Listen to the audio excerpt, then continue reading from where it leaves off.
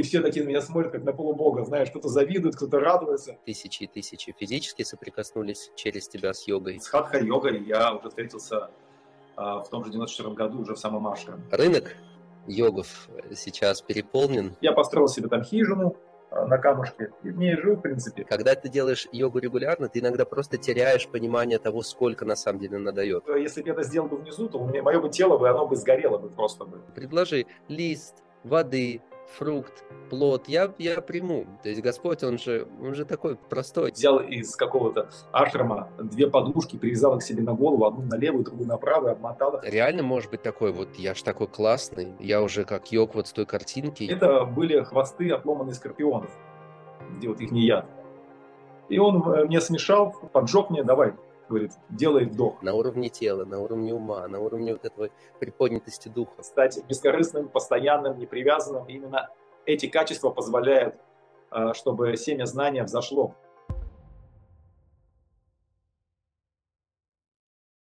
Так, как меня слышно? Всем добра. Слышно замечательно. Хари, хари. Доброе равновесие очень поможет. Представляешь, буквально за две минуты до начала эфира, то, что обезьяны обычно здесь не делают, они не нападают на местных жителей. Они умудрились побежать на матушку, которая убирает здесь, э, здесь пол в храмовом помещении, хотя она с палкой и с тряпкой, и по идее она, ну, в общем, э, не лыком шита. Поэтому я надеюсь, что мое расположение с компьютером не привлечет сильных внимания.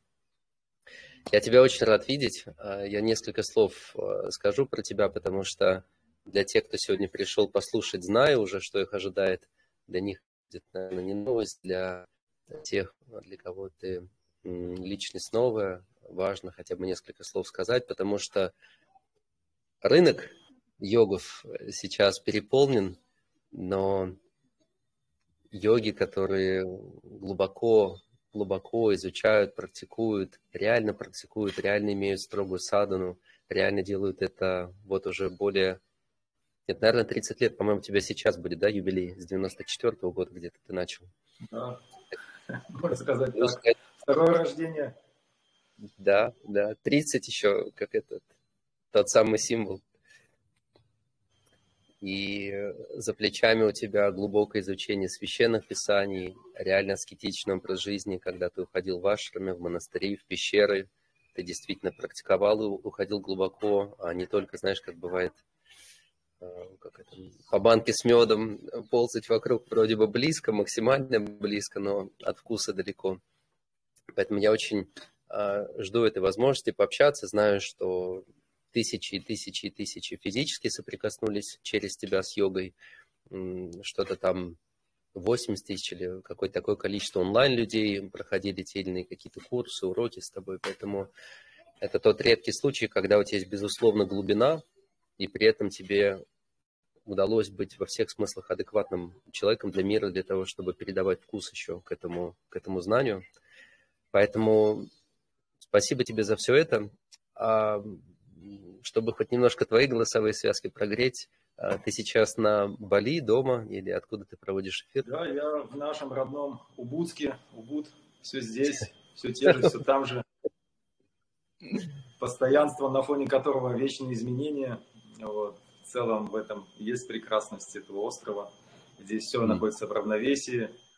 И очень сложно себе испортить настроение. Это нужно пытаться, наверное, читать какие-то гневные мантры, Э, ссориться со всеми, чтобы осквернить свое состояние ума. Вот сколько человек обычный, какой-то материалист э, должен прилагать усилия, чтобы до сатвы добраться. Здесь вот наоборот нужно, чтобы до, до томасятины дотянуться, нужно вот интенсивно себя чем-то шлаковать, каким-то деструктивным контентом, потому что на Бали все цветет, все прекрасно, очень много позитивных, созидательных людей, и это немножко напоминает даже такую райскую планету, вот, и в целом Э, я поэтому и выбрал этот остров, чтобы, как говорится, можно баобабы в пустыне вырастить, но нужно много воды туда подвозить. Здесь э, семечко бросил, и оно шрадха быстро растет. Но в то же время очень много сорняков, очень много тоже, да, разных течений, явлений. Вот, mm. поэтому можно и заблудиться. Тут равновесие, конечно. Я хочу немножко с тобой вдохновением поделиться утренним. и в каком-то смысле, как это uh, confession, что-то вроде исповеди. Вот мы знаешь сейчас, как с тобой, как, как в том фильме, открылась такая шторка, я хочу поделиться с тобой кое-чем. А, ну, во-первых, лет 10, там, наверное, с небольшим я практикую йогу. И я не просто так сейчас немного на себя внимание отведу, только для того, чтобы подсветить важность того, что ты делаешь, и некой такой э, темы, а, через призму которой мы будем смотреть, тему йоги и разных уровней, типов йоги, и высочайшего смысла йоги. И представляешь, вот в одно время я соприкоснулся с аштанга-йогой, с бхакти-йогой, и в течение 10 лет очень активно я в том числе поддерживал тело, но потом родился один сын, родился второй сын, и вот уже, наверное, два года, то, что касается физической части, асаны, пранаямы, они потихонечку просто выжимались из режима дня теми или иными событиями. Любой, кто семейный человек, он, он поймет, о чем я. Плюс к этому есть какая-то утренняя именно духовная практика, которую я э, как обед исследую. И я просто понимаю, что я уже много раз пытался как бы завести заново мотор, но вот какая-то махина времени, инерции, процессов, привычек, в которых я уже оказался. Я понимаю, что вот все уже и здесь начинает болеть, и вот здесь вот от того, что носишь э, ребенка на плечах, который полюбил, чтобы 20 лет, ой, 20 килограмм вот здесь сидели, и периодически, значит, он так изучает мир. И я понимаю, что вот, вот, вот все уже, вот как бы не, не срастается. И представляешь, какое чудо? А вдруг, вдруг, не, я знал, что он приезжает. Бхактивьян вами, духовный учитель, я знал, что он приезжает сюда на Гавардхан. Во-первых, мы чудом оказались неподалеку, вот в той area, да, Бриджвасундра, где, где он остановился. И приехав, а, я следующее утро заметил, но я был снова с детьми, чем-то занят, я заметил, что он куда-то проходит. И было видно, ну, с ковриком или что-то такое, я подумал, так, И представляешь, оказывается, они ежедневно практикуют полтора часа а, с 7.30 до 9 на, а, там, в доме позади того, где я живу, на третьем этаже, на крыше. Всего четыре человека. Сегодня, значит, в подмасне мы сначала 30 а, или 40 минут дышали разные дыхания, потом делали асаны. Коруна, ты не понимаешь. Я пришел домой, мне, мне жена сказала – слушай, у тебя какое-то измененное сознание. я, я, я готов подписаться под этим. Когда ты делаешь йогу регулярно, ты иногда просто теряешь понимание того, сколько на самом деле она дает. На уровне тела, на уровне ума, на уровне вот этого приподнятости духа. И иногда вот нужно немножко, как ты сказал это слово, в томасятину свалиться, для того, чтобы потом, когда это снова с тобой происходит, ощутить в полной мере, какое йога-чудо. Поэтому вот это мое маленькое служение и попытка поблагодарить тебя за то, что ты стольким людям помог соприкоснуться с йогой, вдохнуть в них в буквальном смысле жизнь а, через йогу. Ну так, ладно, все, теперь, теперь слово тебе. Для меня прям честь, честь общаться с тобой, поскольку все равно есть те, кто еще только узнают тебя, как все это произошло. 94 год – это такое время для... Только-только еще Советский Союз распался. Я уж не знаю, наверное, это, это что? Это сидерские лапы, это какие-нибудь твои современники в то время были? Или ты... А, я их еще в то время не знал, безусловно. Первое мое соприкосновение а, с йогой, это было, конечно, я получил Бхагавадгиту, но вот с хатха-йогой я уже встретился а, в том же 94 году уже в самом Ашраме, где меня один старый монах, литовец, познакомил с тибетскими ламами, и потом начал объяснять мне Удьяна Банху, вакуумное втягивание, какие-то подробности, и я все это суммировал, там начал заниматься регулярно. Такие были времена. А, ну, 94 год, безусловно, тогда не было никакой литературы. Это эпоха до интернета, еще не то, что эпоха до него, еще даже никто не знал, что она вообще будет существовать, только телефоны, э, можно сказать, еще и пейджеров не было. Вот, и люди, в принципе, э, пытались на обломках вот этого постсоветского пространства найти какие-то рукописи. А, Все это было в переводе каких-то а, ученых, а, санскритологов, да, и ты их на корявом языке пытался понять, это было очень сложно. В целом, конечно же, мы все брали дословно, как оно есть, пытались Прости, я не могу из, с английского на русский. извини, это, а? вот понимаешь, это, это культура. Он же не понимает, он же не понимает русский язык от слова совсем. Но когда идет катха, они приучены, что если, если они видят святое изображение, если они видят святого человека, саду, они садятся слушать, представляешь? То есть это у них в генах есть, что вот важно слушать. Хотя они играли в крикет. Ну, ну можешь представить? Вот что это за земля, где, где до сих пор в генах есть вот это вот ощущение. Ну, это врач, это Бриджабаси. Да, хотя бы на минуту надо немного. Прости, продолжай, да. Санскрит и... Спонтанность, это... Это люди, которые уже, можно сказать, в Прайоджине живут уже, как Рагунатha с Госвами. Они в спонтанном режиме, если слышат где-то катху, что-то там, какое-то дуновение святого имени, они сразу все бросают и стремительно свои сердца туда несут. В целом, в наше время, 94 год, это вот только э, Чечня, э, можно сказать, еще не началась. Э, и вот этот такой постсоветский синдром, где все ломается, одно кончилось, новое не началось. И, в принципе, я рад, что я именно воплотился уже в сознательном периоде, где-то мне было лет 17, в то время я уже такой был немного более осознанный человек, относительно, конечно.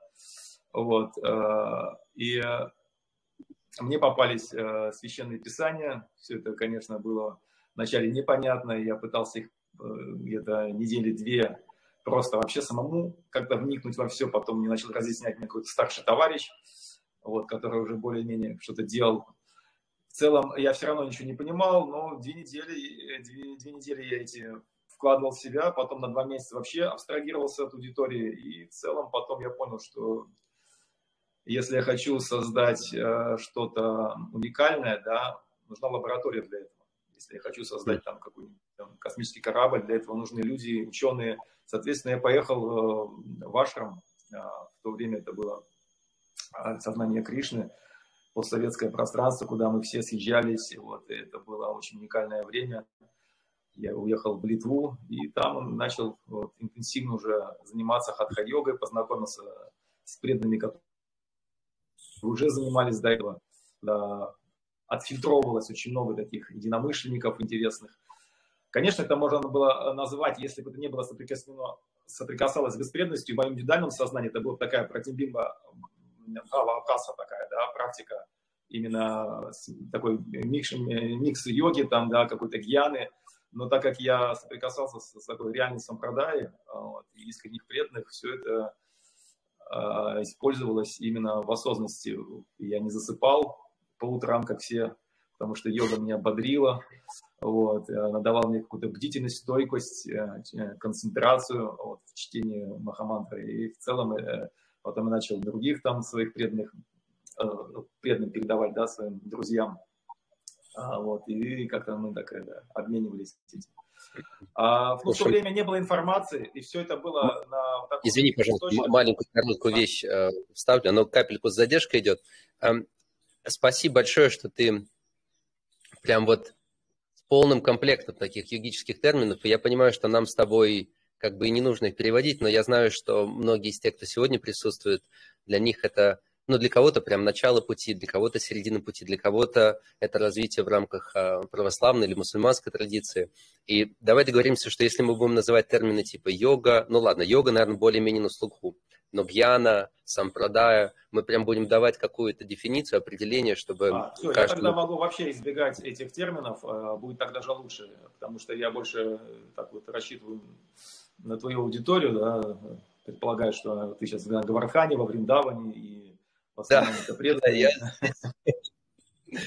Поэтому я так немного а, адаптирую да, для их понимания. Но в целом, конечно, это был 94 год, и тогда всякие распечатки, а, которые попадались нам в руку, начиная там Хатха-йога Прадипика, йога Даршана, какие-то переводы, все мы эти книги, священные тексты пытались а, перевести, и практиковать, как оно было написано напрямую, да, если там задержка была там на 60 секунд, да, начинающему, как там было написано, первый уровень, да, там на 16 вдох, и, непос... и на 32 потом пауза после выдоха еще. И вот я вот непосредственно пытался это все воссоздать. Безусловно, все это кончалось очень сильной отдышкой, сердцебиением, потому что не было понимания анатомического вот этого целостного восприятия и не было людей, литературы, как вот, допустим, сейчас люди прям набрал какое-то слово, и ты получил огромный объем любой информации. Тогда все это проходили через личный опыт, через э, гипервентиляцию головного мозга, да, спазмы, судороги. Безусловно, многие не дошли, многие где-то остались на полпути вот, со сердечными приступами, потому что реально не было никакой информации, и ломали себе и связки, ну, имеется в виду каких-то суставах. Безусловно, я немножко с этим коснулся, но я все время был на ощущениях, и поэтому как только какой-то запах появлялся, какой-то боли, да, это была для меня сигнализация сразу же, что мне туда идти не надо.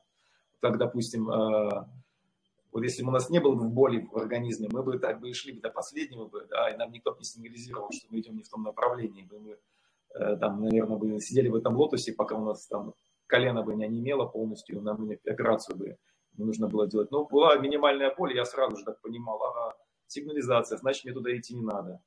Также и в тонком теле у нас тоже есть э, такая сигнализация, которая показывает нам, что mm. вот сейчас есть гнев, да, есть там жадность, есть какие-то внутренние качества или дисгармония какая-то в сердце, соответственно, ты не туда идешь.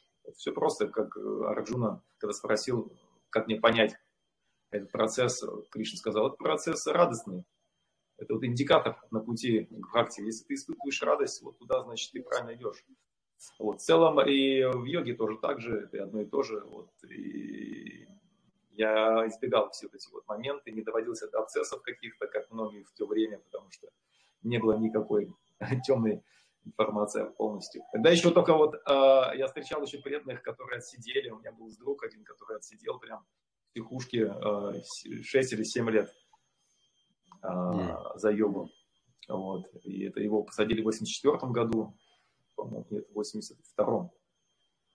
Да, и вот он э, сидел 6-7 лет, пока там Горбачев потом не пришел, не выпустил. Слушай, представляешь, ты сейчас упомянул, я маленький тизер сделаю, потому что я даже не, не выводил его фотографию. А 19 октября у меня будет возможность пообщаться с человеком, который практикует уже более 40 лет. И вот он как раз был одним из тех, кто просто за изучение йоги, за веру, а, вот в то время, где официальной религии было безбожие, его провели и по психбольницам, и по психотерапии, и закалывали вот этой историей, и преследовали КГБ, и конфисковывали вот эти труды.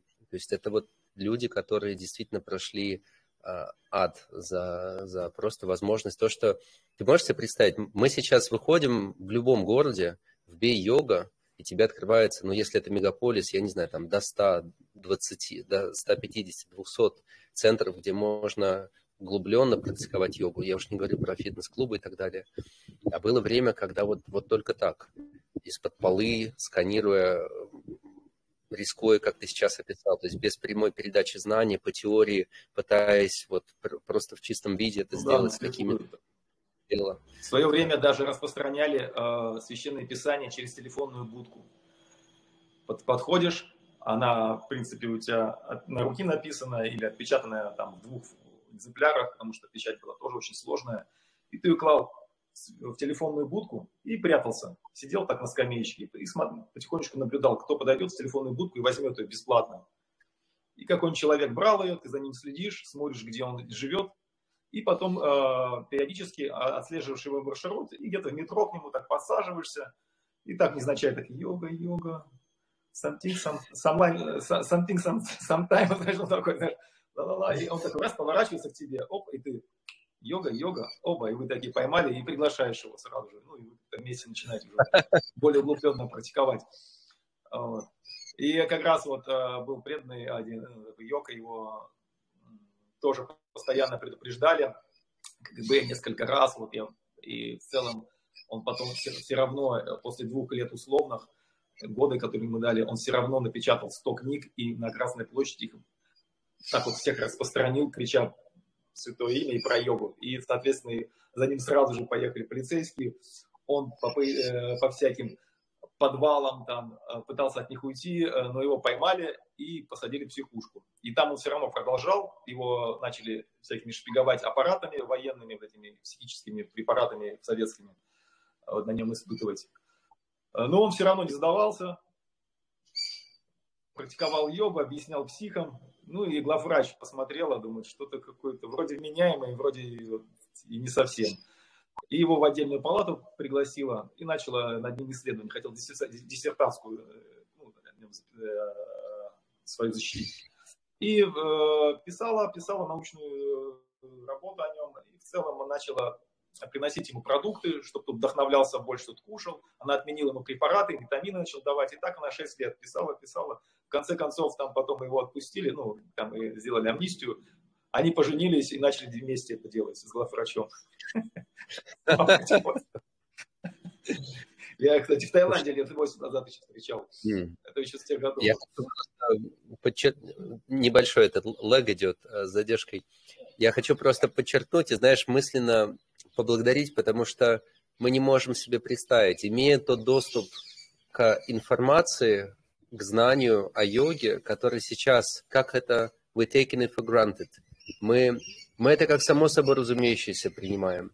Что были те, кто вот еще каких-то 40, даже 30 лет назад, ну, наверное, 40 вот особенно было вот это странное время, когда буквально просто за то, что у тебя сердце отвлекалось навстречу йоге, буквально за то, что ты реально чувствовал, что ты душа, ты хочешь изучать, ты хочешь искать отношения с Богом. Одно это было достаточным, чтобы тебя могли, ну вот как бы крест на тебе ставить, делать Северная тебя изгоем. Корея, да, прям один в один. Да. Нельзя было да. подрывать Слушай, ну... Э, потенциал людей своим mm. непонятным примером. У тебя, у тебя случай интересный, потому что соответственно, у тебя вот был какой-то вот этот момент, не то чтобы момент распутия, потому что м- у тебя, очевидно, есть такие две рельсы, что ли, по которым ты шел. А, некое каноническое изучение аштанга-йоги, каноническое изучение бхакти-йоги. При этом очевидно, что ты в каком-то смысле сплетал это в некий симбиоз и продолжаешь ну, являть это миру. Мы с тобой сейчас говорим о йоге, у тебя позади там ряд госвами на изображениях. А давай немножко туда вот уйдем, в этот момент э, жизни, когда стала манить вот эта идея ашрамов, пещер, потому что ты теоретически мог бы сохранять такой более ну, цивилизованный, что ли, образ жизни, изучать тексты, делиться, может быть, там, ходить на работу, как все, еще что-то, еще что-то. А, вот этот момент, когда ты начал ездить по пещерам, а, в целом, как это было? День, два или, может быть, месяц? То есть, что это был за период и какие ты перед собой цели там? Я, конечно, являюсь плохим примером для подражания. Можно просто следовать чему-то, потому что я был зачат в другое время, в другую эпоху и то, что я сейчас немножко расскажу, это будет такой шок-контент в моей жизни ну, для современных людей. А, в 94 году, да, когда я понял, что я не являюсь этим телом, что я душа, я это четко понял, да, я, прочитав Бхагавадгиту, уехал тотально жить в Ашрам, я принял там обед а, а, отшельничества, ну, не стал саньяси, конечно, просто брахмачарем, да, и жил там а, около пяти лет а, вот, в Ашраме. Распространял священные писания, практиковал йогу при этом постоянно, ездил по Европе, в основном я базировался в Литве, потом э, мы с Гавиндой Махараджем вместе путешествовали, Бхактибинда Гавинды Махараджем. Вот, это. Потом в Казахстан я уехал, там два года прожил, там тоже практиковал. И после этого э, я понял, что нужно обращаться к корням, истины. И уехал э, непосредственно уже в Индию. 90 где-то вот девятый год приблизительно, э, да. И остался там на 15 лет не выезжать. Все бросил. Э, вот. И это еще года три я пожил в Ашерме, потом они поняли, что лучше мне жить за пределами, потому что у меня были не все документы в порядке в то время подробности я говорить не буду, у меня вообще не было. Вот. И, ну, в то время эпоха такая была, что никому ничего не надо было. Я пытался что-то сделать, но это было сложно, потому что и мне не давали их, длительные визы. И я так не хотел возвращаться в Россию, что мое сердце полностью было сплавлено с Индией, потому что для меня это было не географическое состояние. Вот. И я остался во Вриндаване, 4 года там прожил, на Ракакунде, а, вот, какое-то время. А, Удхавакунд, у меня там водокачка была, я на ней жил, а вот воду раздавал, а там где-то год. там и солнце, и жара, все эти вот прошел все эти бриндавнские испытания, вот, не знаю, как мое тело выдерживало там, конечно, но все это йога меня в балансе держала, так бы я бы там перегорел бы. И, а тебе а, я думаю, это, это нужно людям, людям знать, потому что Вриндаван – это место, где один из самых больших контрастов температур. Летом здесь жаркое время, что там, по-моему, до 50 градусов. Ну, я был на 52 а, один раз, и это было, конечно, изнутри и снаружи, особенно первые вот эти вот года, когда я ел манго, я не знал об этом, а меня еще сильнее тело разогревалось в жару манго начинала а, выгонять а, кипятить. Ага, я чувствую, что нам много еще таких историй сегодня предстоит услышать. Давайте дадим ему какое-то время. Может быть, или телефон перегрелся, или нужно поставить на подзарядку.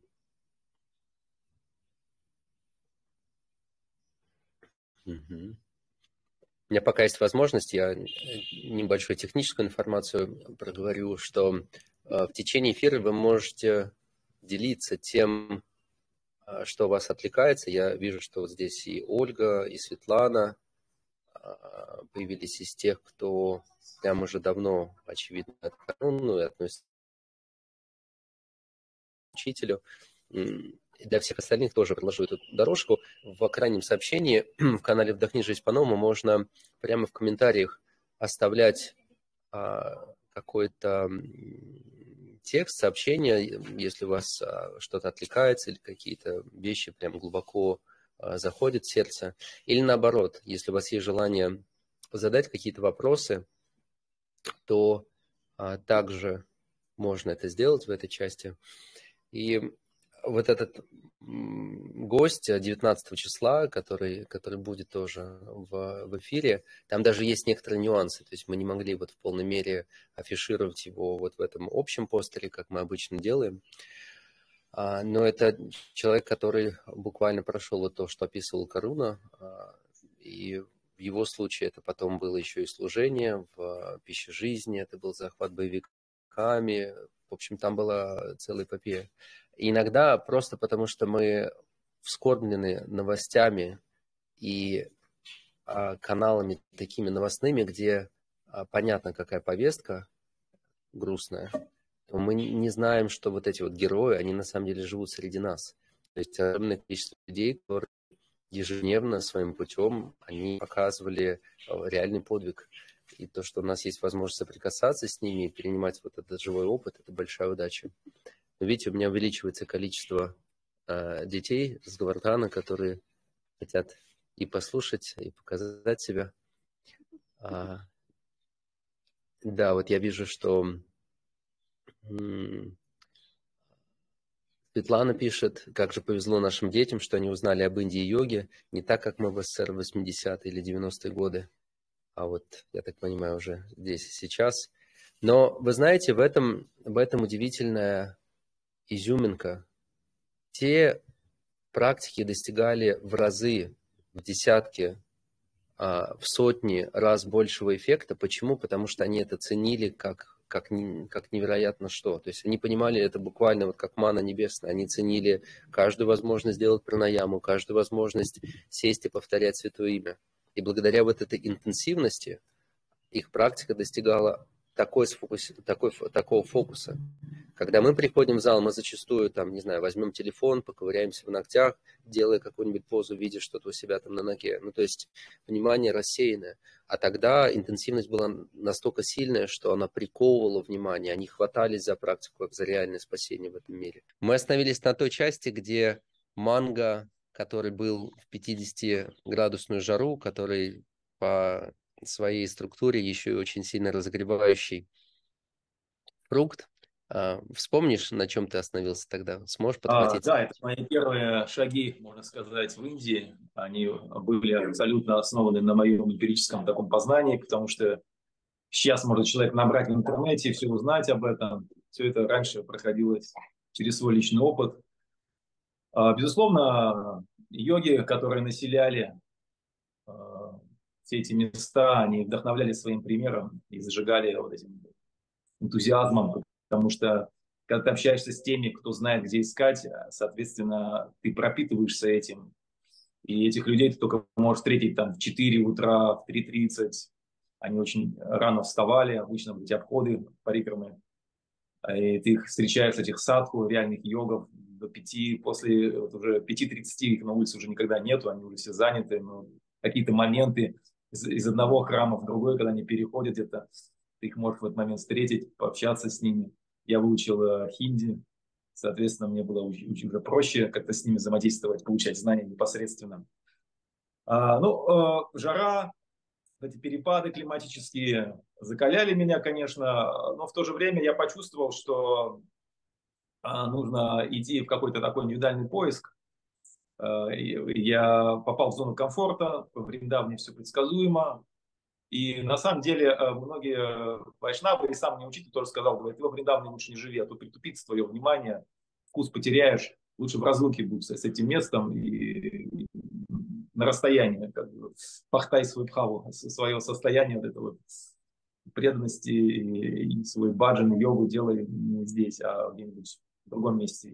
Я вот в Мадхуре в основном всегда останавливаюсь и езжу во Вриндаван. Но я никогда во Вриндаване э, даже не ночую. И такой был пример очень такой даже. Я тут хочу вперед учителя залезть, там жить там непосредственно в самом сердце этого ну, самого прекрасного места. Вот. И я поехал в Гималай, и э, какое-то время там пожил. А, вот это был такой период, где интенсив, я избавился от всех документов. В основном я общался только с местными.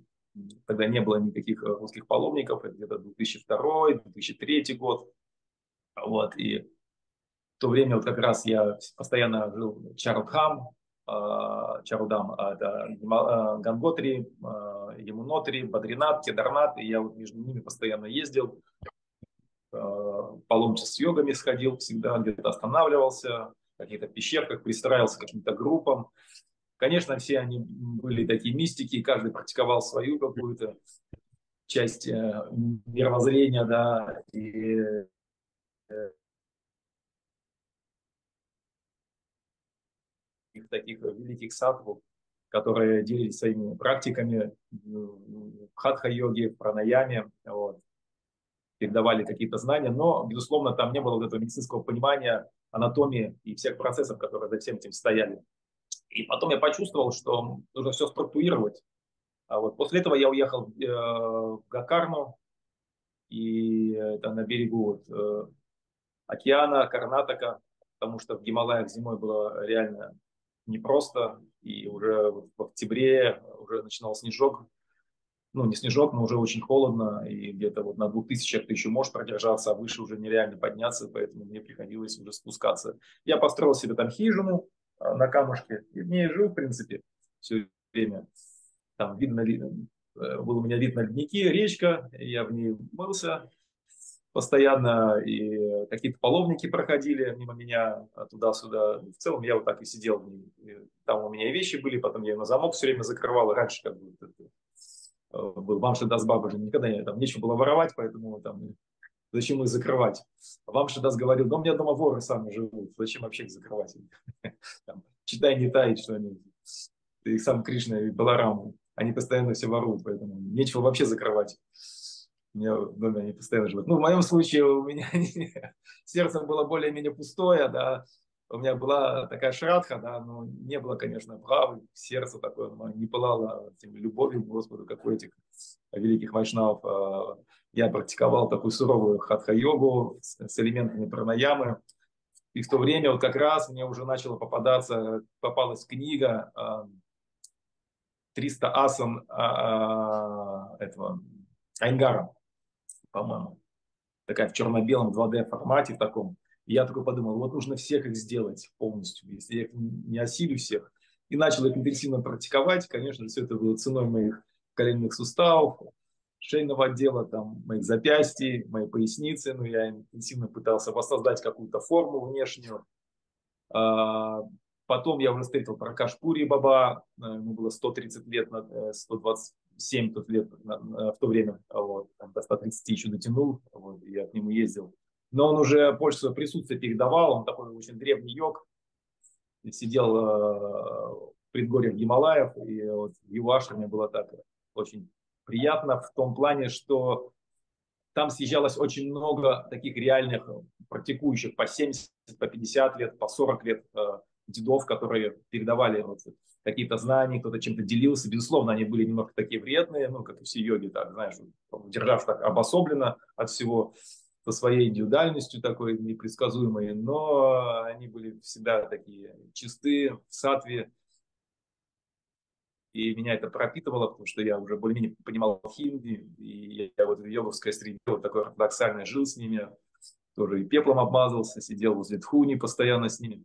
Я помню один момент в Кедранатхе, не забуду, э, э, я поднимаюсь э, в Кедарнат, уже не раз там был, ну как-то вот пошел совсем в тапочках, и только вот начинал, да, можно сказать, и меня так задрог, потому что только вот открытие было Кедарнатха, вот где-то вот апрель еще, холод такой дикий вообще полностью, и я еще Агнисару тогда не практиковал, чтобы как-то согреваться и не сушить на себе с простыни, как вот сейчас это возможно. Но тогда это все было интуитивно. И я такой э, взял из какого-то ашрама две подушки, привязал их себе на голову, одну на левую, другую на правую, обмотал их вместо шапки.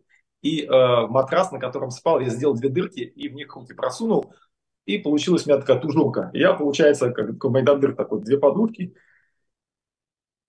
А, здесь на матрас, голые тапочки босоногие. Денег у меня вообще не было. Я все время э, просил бхикшу, э, ну, где-то там подаяние. Всегда или где-то что-то можно было поспать бесплатно, или где-то костер разжечь. Я всегда делал дуни, там разжигал, э, делал кичри какое-то, да, или миндальные орешки и, и чан, этот горошек я все время с собой носил, на всякий случай, если совсем ничего нет, я всегда могу простить их и как-то заполнить эту э, такую жгучую йоговскую аппетитную эту вожделение внутреннее, я его как-то гасил этими орешками. А, и я помню, что я пришел в Кедарнат, и был дикий холод, и я вот в этом матрасе с этими подушками, да, идет моросящий дождик, я стою в очереди на Даршин, такой весь об, об, промок такой, и зашел за туда, за Кедарнат, там есть ашрам, ну, э, йога-стан, и сидят таких где-то, может быть, ну, человек 15 таких йогинов, таких деды, вот, которые, знаешь, у них из дредов их матрасы прям у них, знаешь, вот асаны из их волос. То есть такие существа, такие преисполненные, они все голые абсолютно. Сидят вокруг костра, и видно, что они каждый в своей какой-то сампрадай, в каком-то своем пути, в каком-то своей ученической преемственности. То есть они не являются учениками или там, ну, братьями в Боге вот в одной какой-то идеологии. То есть они все в своем каком-то духовном поиске. И они все объединились так Нананг, Нананг. Possible uh, sound, please. А я там, тут работник сейчас там работает. И э, я подхожу к ним и пытаюсь, думаю, вот костер, сяду с великими йогами, посижу вместе, пытаюсь зайти в их круг. И они мне такие, э, а тут, эй, чего? Вот такие, знаешь, как этому, как псу такому. Я подумал, может, я белый какой-то, ну, поэтому я не могу. Они и с ними сесть, может быть, как раз херняют мне атмосферу. Они говорят на хинди, если ты хочешь сидеть с нами, снимай одежду. Иначе там вот тусуйся возле кормушки, там с мирянами, там, где раздают кашку внизу там. И там, а если ты хочешь с нами сидеть, то здесь Шива, холод, и появляется энергия Шивы. И он всегда в настоящем моменте. В холоде ты не сможешь сидеть на, на, на одном месте. Тебе нужно постоянно практиковать, чтобы бдить, не замерзнуть. Поэтому мы всегда в холоде, чтобы всегда держать себя в садане в теле потому что в холоде ты не уснешь. Или ты сломаешься, или ты выдержишь. Поэтому холод в Арфане Баба является наивысшим э, гурудевом. Это энергия Шивы, поэтому мы здесь. А если ты вообще хочешь к Шиве, тогда ты должен вообще и, и ноль держать градусов. Садись с нами. И, ну, скидывай свои манатки, вот эти вот матрасы всякие. А я стою такой, пацан такой 20-летний такой, знаешь, трясусь просто, не могу просто. Если я сниму полностью и буду играть эту роль, да, йога, я не смогу это сделать меня просто скует этот холод, и я могу реально заболеть. И, и хочется, и, и понимаю, что не могу это сделать. И тогда говорит, давай, чело, чело, иди отсюда. Я такой уже начинаю возвращаться вниз и понимаю такую, такую легкую такую э, боль, разочарование. Знаешь, как в детстве такая травма такая, знаешь, что ты хотел, тебе что-то не дали. И тут такой бабенок такой, где-то 25, такой молодой, такой меня зовет к себе, там где-то он тоже под камушком сидел, там они его тоже вроде не пускали или как-то это.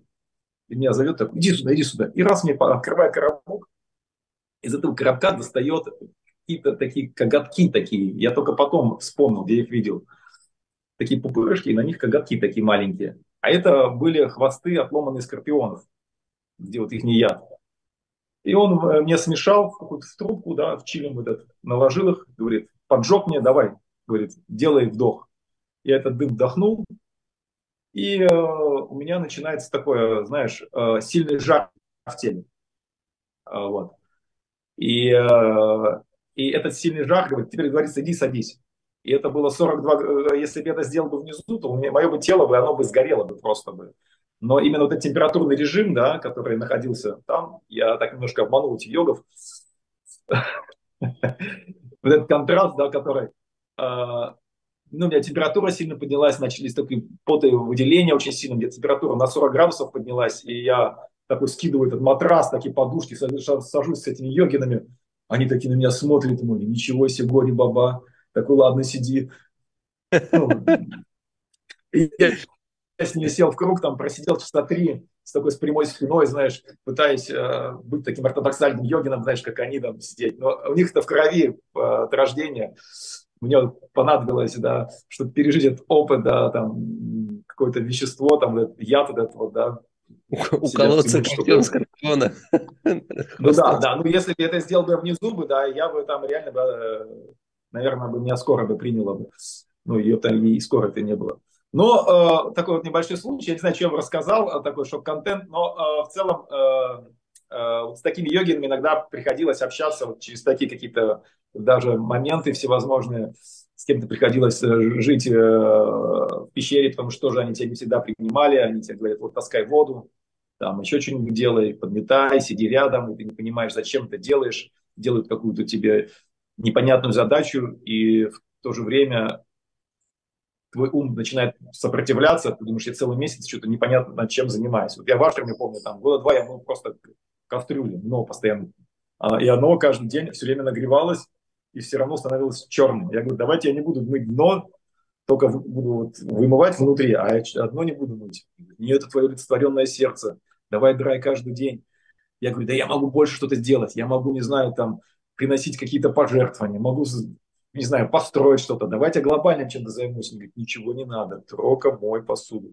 И это вот старая школа, именно она основана на том, что ты на терпении, на постоянстве и на непривязанности э, затачиваешь вот этот внутренний принцип, как спахиваешь землю, и потом тебе дают туда зернышко уже.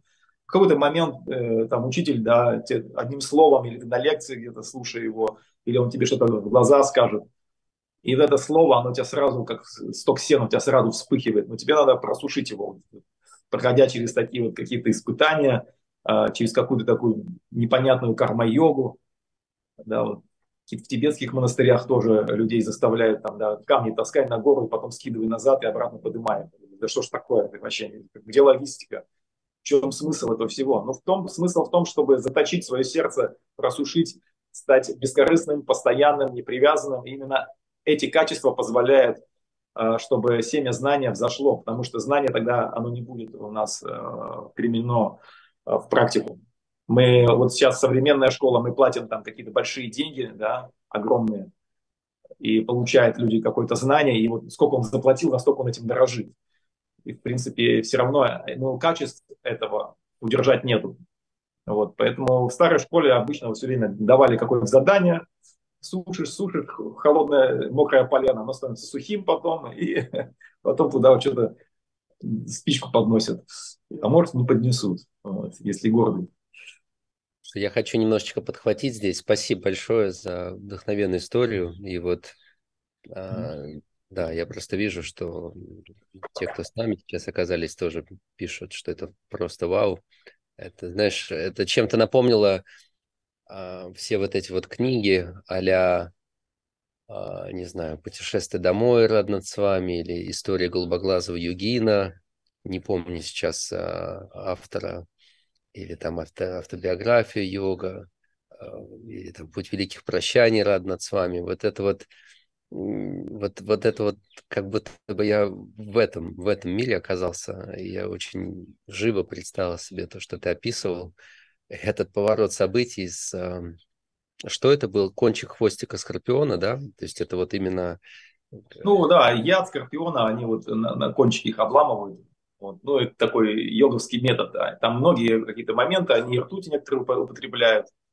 А, ну, не в чистом виде, не с градусников. Есть шукра, да, как э, спермошивы, да, и в определенном количестве немножко подсыпают в рассаяну, чтобы тоже ускорял процесс гемодинамики. Но это все не для нас, европейских это, людей. Не, не повторяйте дома. Да, да, да.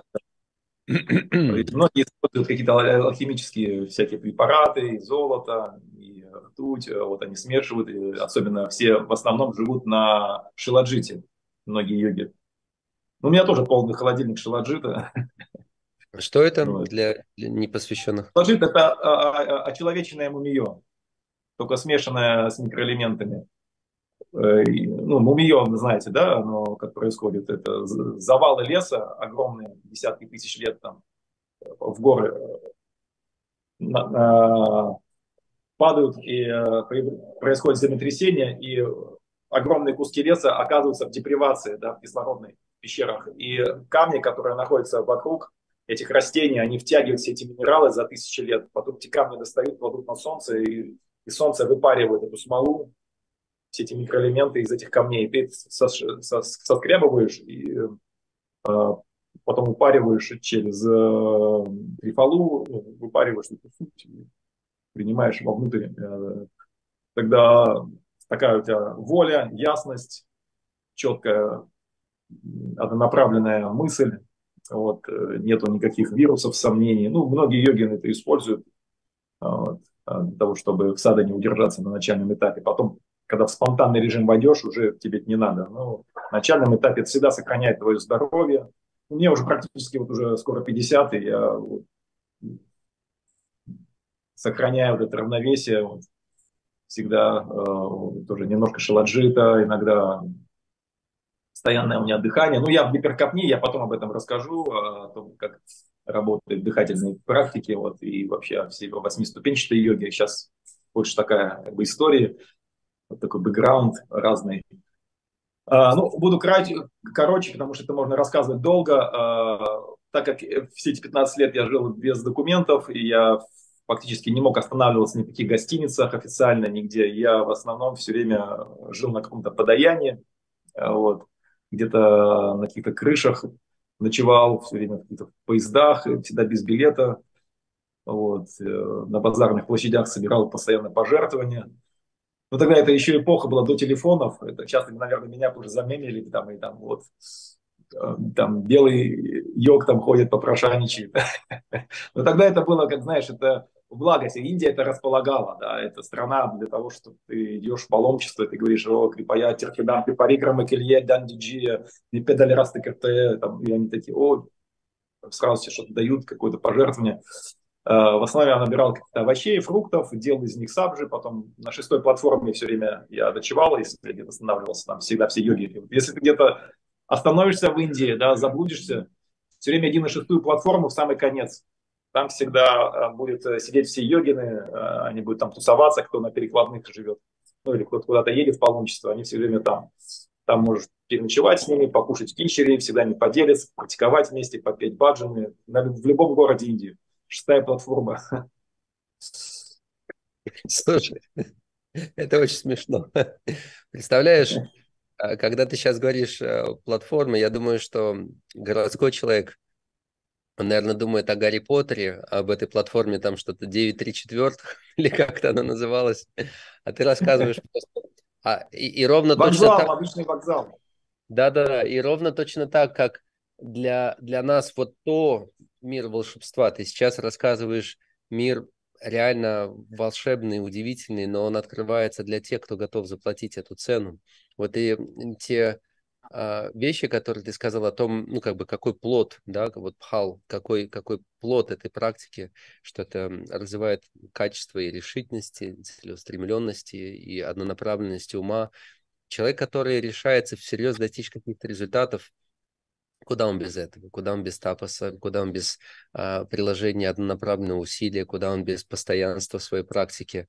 Но мы говорим об этом больше, знаешь, такая городская йога, она такая, это, это такая романтика, это как а, это как вот положить правильную книжечку, вот, ну, как бы для, для поддержания своего образа. Я думаю, что мы не понимаем до конца, что йога означает, какой уровень аскетичности, какой уровень э, лишений, какой уровень э, отрешенности, какой уровень терпения нужен для того, чтобы реально снискать вот этот вот а, плод, который может дать йога. Потому что мы читаем о каких-то вещах, которые, там, не знаю, в Йога-сутрах Патанджали есть этот раздел, где описывается, если ты медитируешь на это, результат будет такой, если медитируешь на это, ну, там, и неважно, многие из этих вещей, а, начиная с левитации, заканчивая каким-то исполнением желаний, люди воспринимают как какую-то историю про старика Хатабыча, ну, то есть, что это какие-то сказки, не понимая, что это реальные а, метафизические и психофизические процессы и отношения со Вселенной, в которые ты вступаешь, где есть законы, есть более тонкое пространство бытия, где они также присутствуют, и ты или находишься в гармонии и в союзе с этим, и ты реально готов заплатить цену за это, или но оно как бы и будет оставаться, вот как в начале этот образ а, пришел, не мой при этом, часто его дают учителя, понятно, вот про банку, где ты Э, банка с медом есть, и ты как муха ползаешь. И ты вроде как даже пригрет солнышком тех самых йогов, но строго говоря, они тебе говорят, не-не, чало, чало, как бы не, не, не видя, не видя вот этого. Но хорошо, и вот, и вот ты а, пошел в эту историю, то есть сколько у тебя длился этот период, ну, каких-то скитаний, исканий, и главное, знаешь, что тобой двигало в этот момент, потому что бывает же, ну, реально может быть такой вот, я, я ж такой классный, я уже как йог вот с той картинки, я уже в кругу вот особых личностей, то есть ты в это время жил чем? У тебя уже какой-то вкус проявлялся? Или ты, ну, некое такое, это было раздутое эго и некий образ, э, которым ты себя тешил, что я вот уже вот прям такой классный и достигаю каких-то результатов. То есть что у тебя в этот момент происходило в уме, в сердце? Что тобой двигало? Какие цели у тебя были в этот момент времени? Ну, видишь, я был зачат в традиции, да, вайшнавской. И э, кичится своим каким-то положением, достижением, это такой сильный мавитон, да, в нашей традиции. И, соответственно, я никогда не завышал себе, не чувствовал там, я сам возвышенной какой-то там йоговской там душой, да, там, которая там все, все поняла, я там общаюсь с какими-то великими душами.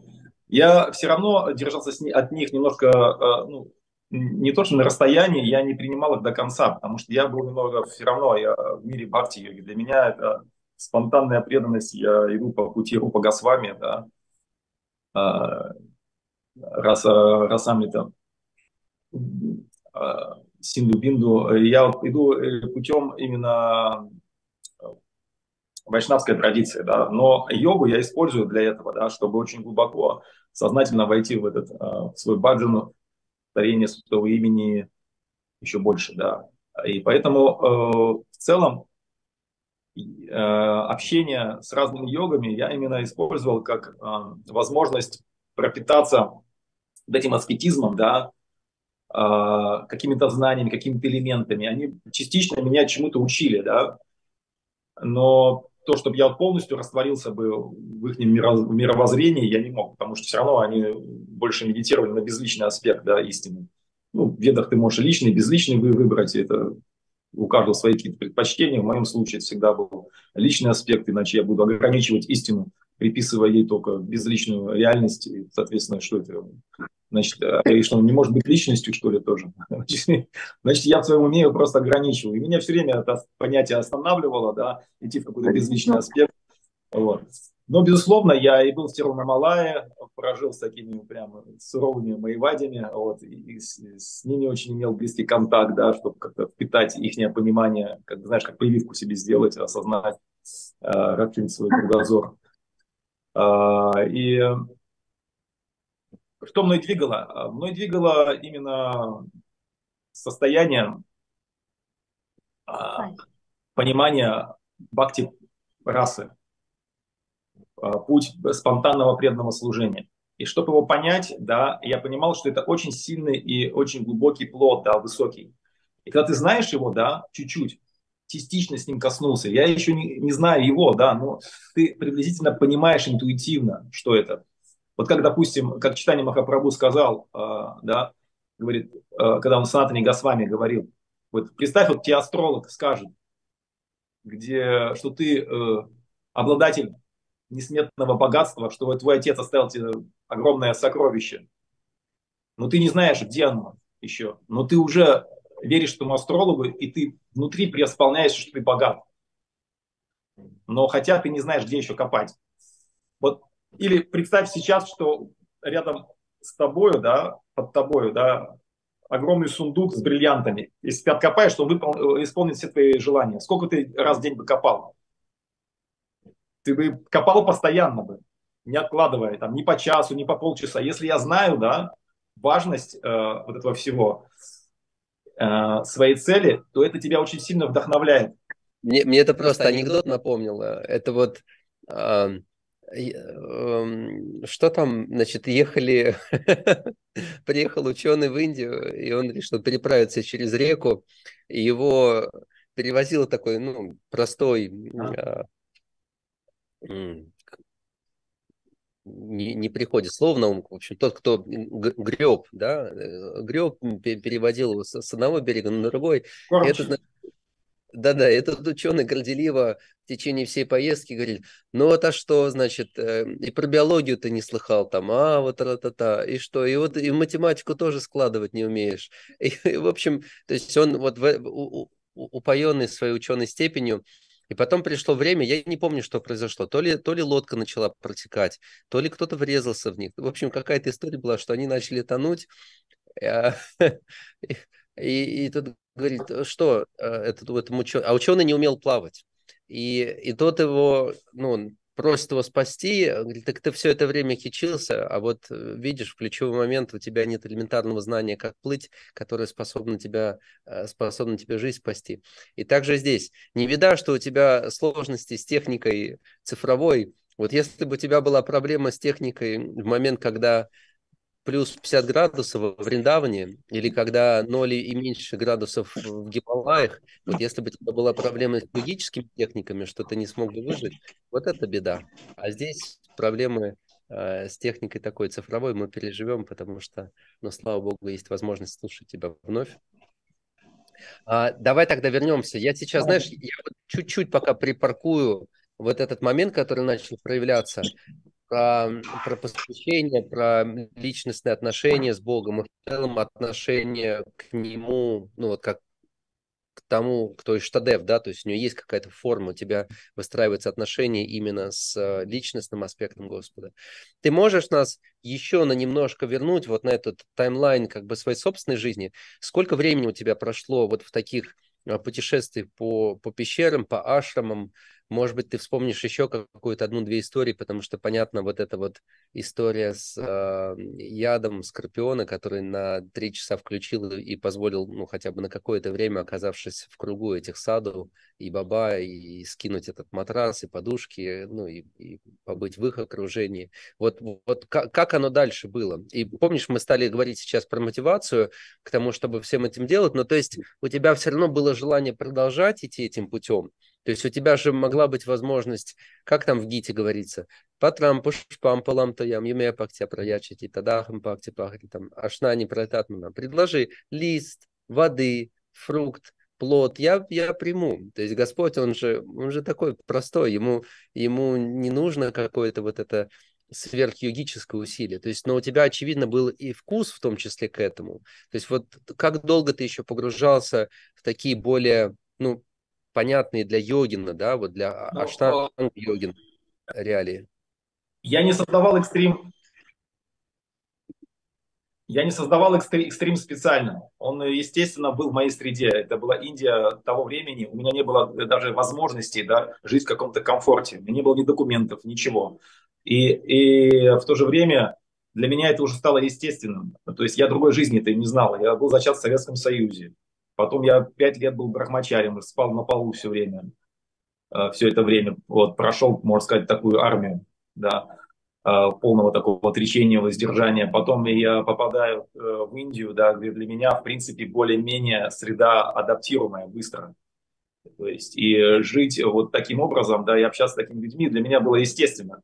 То есть и и э, на тот момент я тоже ощущал, что мое тело физическое не дает мне э, на самом деле погрузиться э, э, в ту практику, которую я получил от своего учителя по-настоящему. Да? Мое тело, оно было ограничено, концентрация тоже. Я к тому моменту уже понимал, что моя концентрация на святом имени или там, да, на баджане, на пуджи будет зависеть от моего дыхания, как ни крути.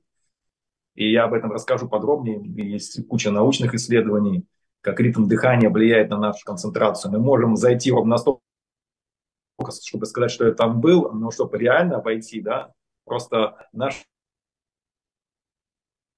у них есть желание вдохнуть каждые 6 секунд.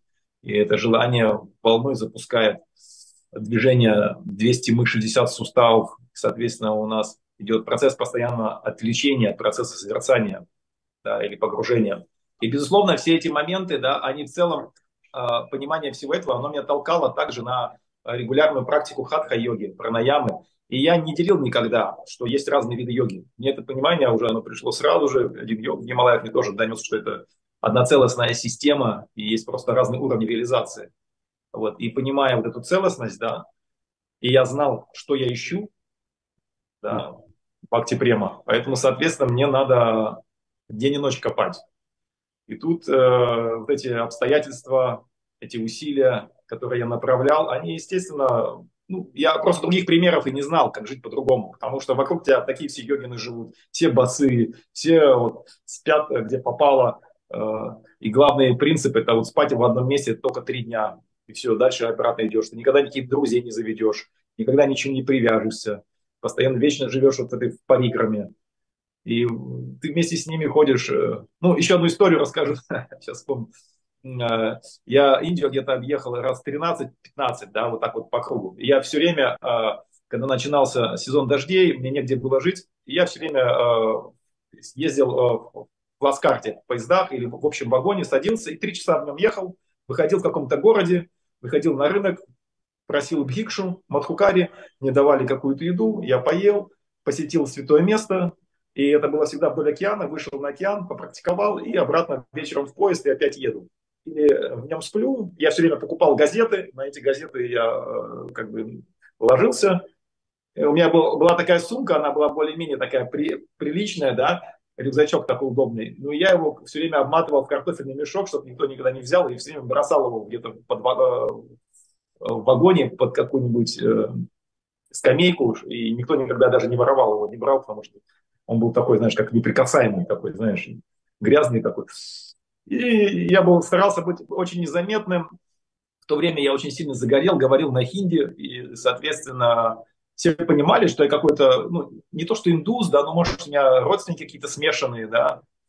Я в такой все время, как баба, такой у меня гамча здесь одна, намотан, парикрамка, командалка вот этого, да, где я все время варю кушать. И палочка теджбал у меня была такая пупырочная такая, если ты видел, такие теджбал. И, mm-hmm. и я вот с ней вот ходил вот так вот, где-то из фотки с того времени покажу. И я вот так вот циркулировал постоянно и э, выходил в каждом городе приблизительно на расстоянии трех часов. Иногда попадал в пассенджер-класс, это была, конечно, дикость. Пассенджер-класс – это особая среда. Если ты в нем не проехал, то, можно сказать, человек не был в Индии. Обязательно нужно себе сделать такую прививку. После этого ты можешь быть в любых условиях, где бы то ни было. Вот нужно сутки продержаться в пассенджер-классе. Это реально, после этого ты можешь в любом месте, в любом городе, есть ли деньги, нету денег, ты всегда будешь счастливый после а этого. А как? Что это? Пассенджер-класс это где вся Индия в одном флаконе. Это на одном месте, где должно быть 5 человек, там будет 12-16 сидеть. Люди на гамче, подвешенные под вентиляторы, на, на воздухе болтаются ночью. Все забито полностью.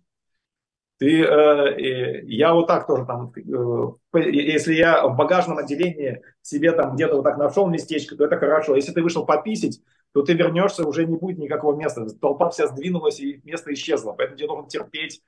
И это по 36 часов э, поезд, поэтому ты ничего не ешь, не пьешь, чтобы не выходить из туалета. И ты, уже, ты не выйдешь даже до двери. И постоянно меняется флакон, что деревенские люди постоянно набиваются в него, они тоже все бесплатно, там контролера никогда нету. и ты в нем едешь длительное время, и тебе нужно иметь э, э, э, хороший бэкграунд йоги, потому что тело будет болеть сразу через 6 часов. А когда ты себя каждый день ставишь в неудобное положение, и твои капиллярные сети постоянно прокачиваются, и вот после пассенджер-класса, если ты сутки выходишь, у тебя тело не болит, значит, ты правильно практикуешь. Что тело компенсируется. И даже там умудрялся как-то йогу делать. Э, ну, потом я пришел логически к пониманию, что надо было гамак натягивать. Я начал под вентиляторами натянул гамак, и в нем лежу, и все такие на меня смотрят, как на полубога, знаешь, кто-то завидует, кто-то радуется, кто-то восхищается. И у меня гамак был, и я туда все свои вещи складывал, такой двойной, запутался как коконе, и над их головами так висел все время. Так я вот ездил потом, потому что э, нереально было. Выходил на вокзал, что-то собрал поесть, сготовил кичери э, и обратно. И вот помню, доехал до, я, до Рамешварама, э, Каньякумари, конечная точка Индии где два океана сливаются, даже можно видеть, да, там Индийский, Атлантический, такая даже разделение. И э, э, на карте увидел эту полоску, да, в которой мост, который Рама насыпал, э, Хануман насыпал с, со своими преданными, когда они все, все обезьяны, сугривы, все строили мост на Шри-Ланку. И он до сих пор есть, там километров 30, он протянут. И я думаю, вот по нему дойду до самого конца, может на Шри-Ланку переберусь. Э, я что-то слышал, что в принципе иногда там вода как-то отходит и можно пробежать. И на карте вроде он есть. И я увидел эти камни не плавающие с именами Господа, рамы в храме. И меня все это так вдохновило, думаю, и пойду я. И пошел.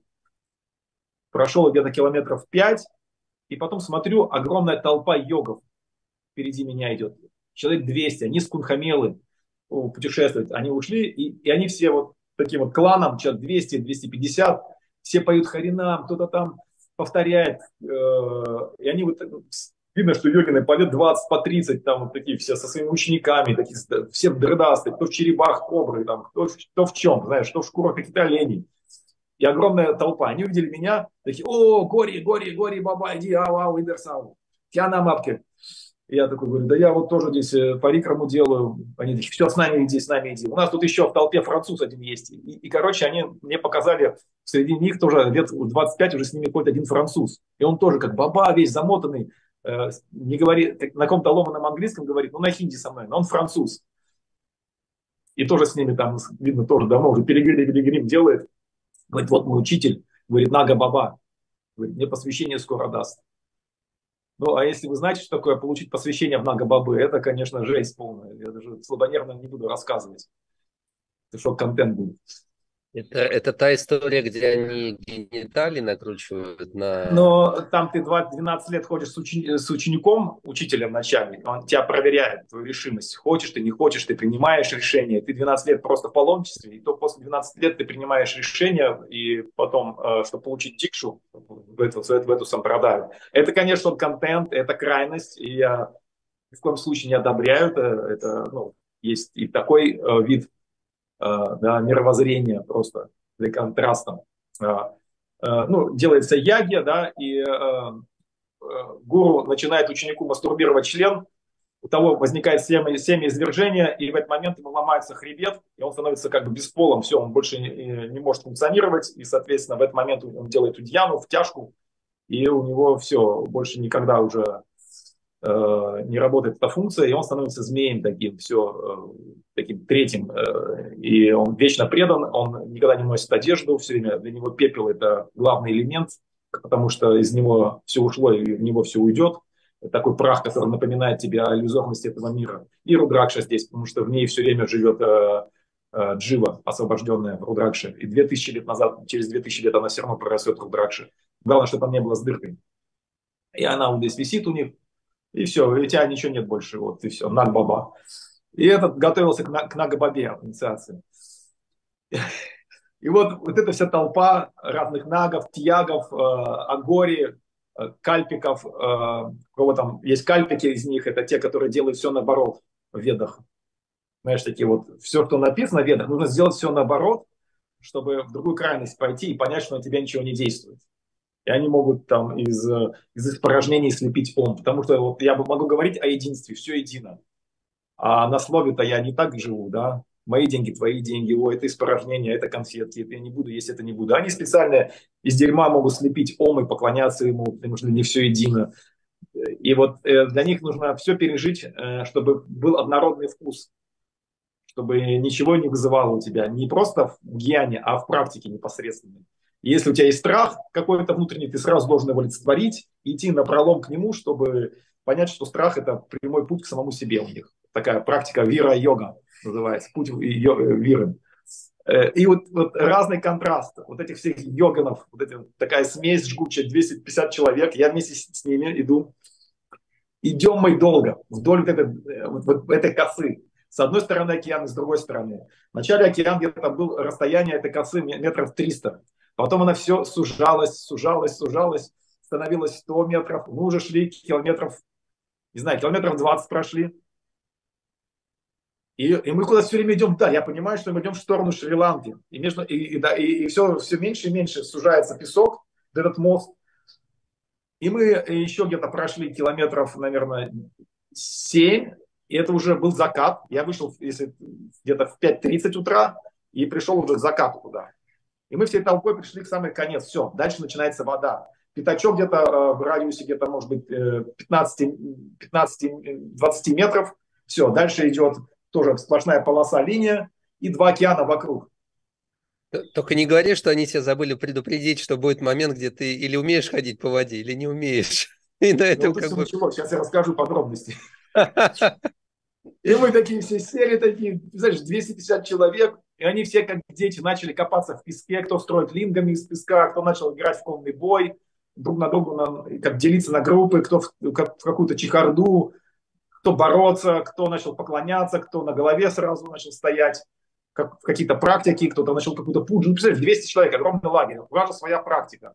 Это такой движущий фестиваль только таких ортодоксальных йогинов. Из них только два иностранца, э, и то такие уже полусумасшедшие, это я и француз. И вот эти все старики, да, такие 70-летние, 80-летние, кто там, ну, 40-летние, такие мужики, они все вот разбили такой микролагерь, кто начал сразу еду какую-то готовить, кто-то там ну, практиковать, читать. И я так немножко принял омовение, сижу такой, уже расслабился, уже закат такой, знаешь, начинается у Санхи. Смотрю, все готовятся к повторению Гаятри, там, кто в Упасанах. И тут слышу сирена сзади, сирена, настоящая сирена, полицейская. Я думаю, мне это кажется наверное, какая-то галлюцинация, такой поворачиваюсь, и реально прилетает огромная машина полицейская с такими большими колесами, которые по песку может ездить. И в рупор а, что-то на тамилу э, объясняет. На, на тамильском языке очень быстро, скоропостижно, потом резко разворачивается и быстро уезжает. Все такие раз такие встали, все друг на друга смотрят и не понимают, что происходит. Потом я говорю, кяугя, этот такой говорит мне один, он говорит, э, я так понимаю, что через 40 э, минут здесь уровень воды будет 2 метра, и нам нужно срочно отсюда уходить, назад бежать. Если мы не уйдем, то здесь океан будет прилив. Через 40 минут 2 метра будет. А через э, там это уйдет под воду все. И нам нужно срочно эвакуироваться. Они сказали, что забрать никого не могут, и ты сам убегай, как хочешь. И тут мы все такие, дух, дух, и вот Нужно ли идти по воде, проверить свою йогу в действии, да, или остаться, да, там, и молиться, там, и что Господь раздвинет э, воды вселенские, да, эти, на тебя не подействуют. Или ноги в руки и бежать со всей силы назад. Понятно, духа у меня было мало. Я смотрю, знаешь, ну, такие другие йогины такие, знаешь, тоже такие друг на друга пересмотрели. Не, правда, в ногах больше, наверное, и мы где-то человек так 150 сразу же мотанули, да. Но там какие-то деды такие остались, знаешь, такие они типа, такие, знаешь, да нам все, все равно, мы останемся здесь. Мы не верим никаким там заговорам вселенским. Они как-то не стали свое внимание обострять на все на это. Их кто-то начал оттаскивать, что-то объяснять им. Все такие, знаешь, укоренились, там они только пуджу начали. Я говорю, пока Гайтри не прочитаю, никуда не пойду. А тут как раз нужно гайтри читать, понимаешь? Уже все время такое вот надо преисполняться. Обеты свои или бежать срочно. Каждая секунда, минута – это ну, ну, возможность выжить. Ну и мы все мотанули. уже бежим, и смотрю, э, через полчаса мне уже вода начала, мне уже по колено быть, через полчаса прибывать. Э, начала смеркаться. Мы, назад нам идти 20 километров. И вот мы всей этой толпой, 200, ну, 200, ну, может, 150 из них мотануло человек, мы все разбились в линию в такую, да, нету никаких ориентиров, темнота появилась, и мы идем по этой косе, уже только уже э, не по песку, а ощущая вслепую, э, в полной толпе,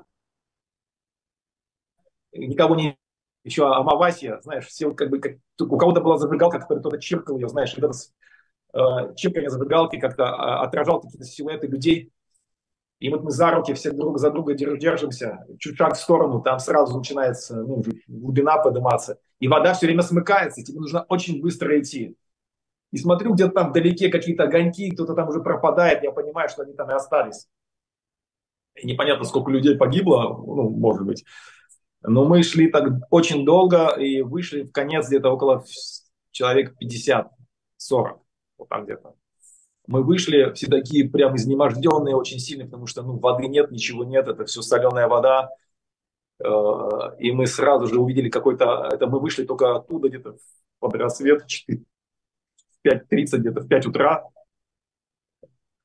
Ну, увидели просто какой-то огонь, потом в конце где-то через 2, э, 2 часа дня, ой, 2 часа ночи, который где-то светился какой-то фонарь там, и шли на него. И в целом мы вышли все. И потом был какой-то автобус, мы забежали в этот автобус и вытащили водителя самого, он не хотел ехать, бабы сами вытащили этого водителя, сели за руль и повезли, и поехали сразу же э, Рамешваром на Мангаларыте. Открываются двери в храм, а Рамешваром, э, э, Лингом, который установил сам Рама, и там мы в этом храме сразу же получили Даршан, этот все вместе. Было такое незабываемое чувство, знаешь, такое спасение, в то же время такое вот э, проникновение, такой благодарности, да, параматно, что он вовремя вытащил от всего этого. Ну, непонятно, где все остальные были, мы вот 40 человек только спаслись, вот. потом я дальше пошел, интернета тогда не было, у них паспортов тоже не было, никто их не искал никогда, этих йогинов. Вот, поэтому кто выжил, кто не выжил, может кто-то вознесся, и дальше я их истории не знаю. Такая вот была тоже жизненная история, помню. Потом я сел дальше в какой-то поезд и поехал так дальше. И в каждом городе ты встречал каких-то йогинов все время на шестой платформе, кто-то делился своими историями, какими-то практиками. И вот так вот я вот постоянно колесил. Приходилось прыгать с поезда, когда меня полиция ловила без документов. Вот тоже я на скорости. Были всякие моменты всевозможные. Такая жизнь была, можно сказать, экстремальная. Вот я все время так заходил в поезд и так или ну, в какое-то помещение, все время интуитивно как агент, знаешь, понимал, где второй выход где-то есть. Если что, я всегда могу как-то выйти где-то. Ну, я очень не хотел, чтобы меня депортировали или ну, выселили. А вот, ну, поэтому да. у меня все время было так. Мне надо сказать тебе кое-что. Я просто понимаю, что а, ну это же не расскажешь каждому, но это же надо, это, это нужно людям услышать хотя бы на уровне я не хочу сказать праздного любопытства. Это, знаешь, это, это вот один раз ты соприкасаешься с другой реальностью, чтобы, чтобы полностью, полностью выйти вот из тех стен того режима и тех привычек, где мы уже все, вот как бы Инстаграм, там, Фейсбук, канал, работа, подгузники, у каждого какая-то своя реальность, в которой мы уже оказываемся в этой коробочке, и дальше вот так вот действуем. Просто тот опыт, который у тебя был, я не знаю сколько, но может быть один на миллиард имеет, может быть меньше. Мне вспомнилась эта история, как бы Актитир-то с вами сказал, рад над с вами, который как же, так же, как и ты в этом настроении был, что, ну, с чего я буду там себя прославлять или какую-то книгу писать. Он сказал, это не твоя история, это вот то, что ты пережил, то, что ты видел, то, с чем ты столкнулся лично, это, это не твоя история, это должно быть как-то оформлено в какую-то книгу. Может быть, ты, я не знаю, пишешь ли ты или нет, может быть, ты поделишься, продолжишь еще вот несколько таких эфиров. Я, я не могу обещать а, соло в рамках эфира «Вдохни жизнь по-новому», но, может быть, просто в каких-то беседах сохранить это и перенести как-то, затранскрибировать, потому что это... Я, на самом деле, берегу тоже психику людей, да, и вот эти истории обычно не рассказываю, да, свой бэкграунд многим. Ну, был, был там, ты спрашиваешь, 15 лет в Индии. Но вот эти подробности я мало рассказываю людям, потому что это, ну, твоя аудитория, она более-менее такая адаптированная, да, люди многие были в Индии, понимают немножко, поэтому я так немножко открылся, да, в этом а формате. Это мы проверим, это мы проверим, насколько это была адаптированная аудитория. То есть я вижу, что есть кто те, кто поддерживает, и, и вижу те, кто, как и я, у нас немножко челюсть отвисла. Я когда заполнял паузу словами тем, что, наверное, это, это, это, это проверка, что, что это проверка, что то, что дальше будет, надо услышать не всем. Но теперь я понимаю, насколько, насколько не всем. А, ну вот здесь, здесь прям одна за другим а, добрые слова и благодарность за то, что ты поделился этим, э, передал немножко тем, как это было. А, сейчас, дай мне, пожалуйста, полминуты, мне нужно свой вот этот мир, который ты только что расширил, оно приняло какую-то новую форму. Сейчас, да, я, я сам приземлюсь во всем этом. Я, конечно, понимаю, что в Индии по-другому ощущается жизнь, по-другому ощущается смерть. Но если буквально понять то, что сейчас произошло, ты описал вот этот момент, где большое количество паломников элементарно ну, не, не дошли, они оставили тела прямо в том моменте на этой святой косе, и дай бог, их сознание было уже полностью к этому подготовлено, и они переходили в другой мир в этот момент. Но просто этот, этот мир, в который ты нас окунул. Потому что, знаешь, ты прости, я вот все какие-то такие параллели на контрасте провожу. А, многие же пишут там, там провел год в Индии, или там три года в Индии, или путешествовал по Индии. Но одни путешествуют по ну ладно, 4 пятизвездочные, может быть, не обязательно. Я просто видел, кто-то делился этим, что ну вот я привязан к комфорту.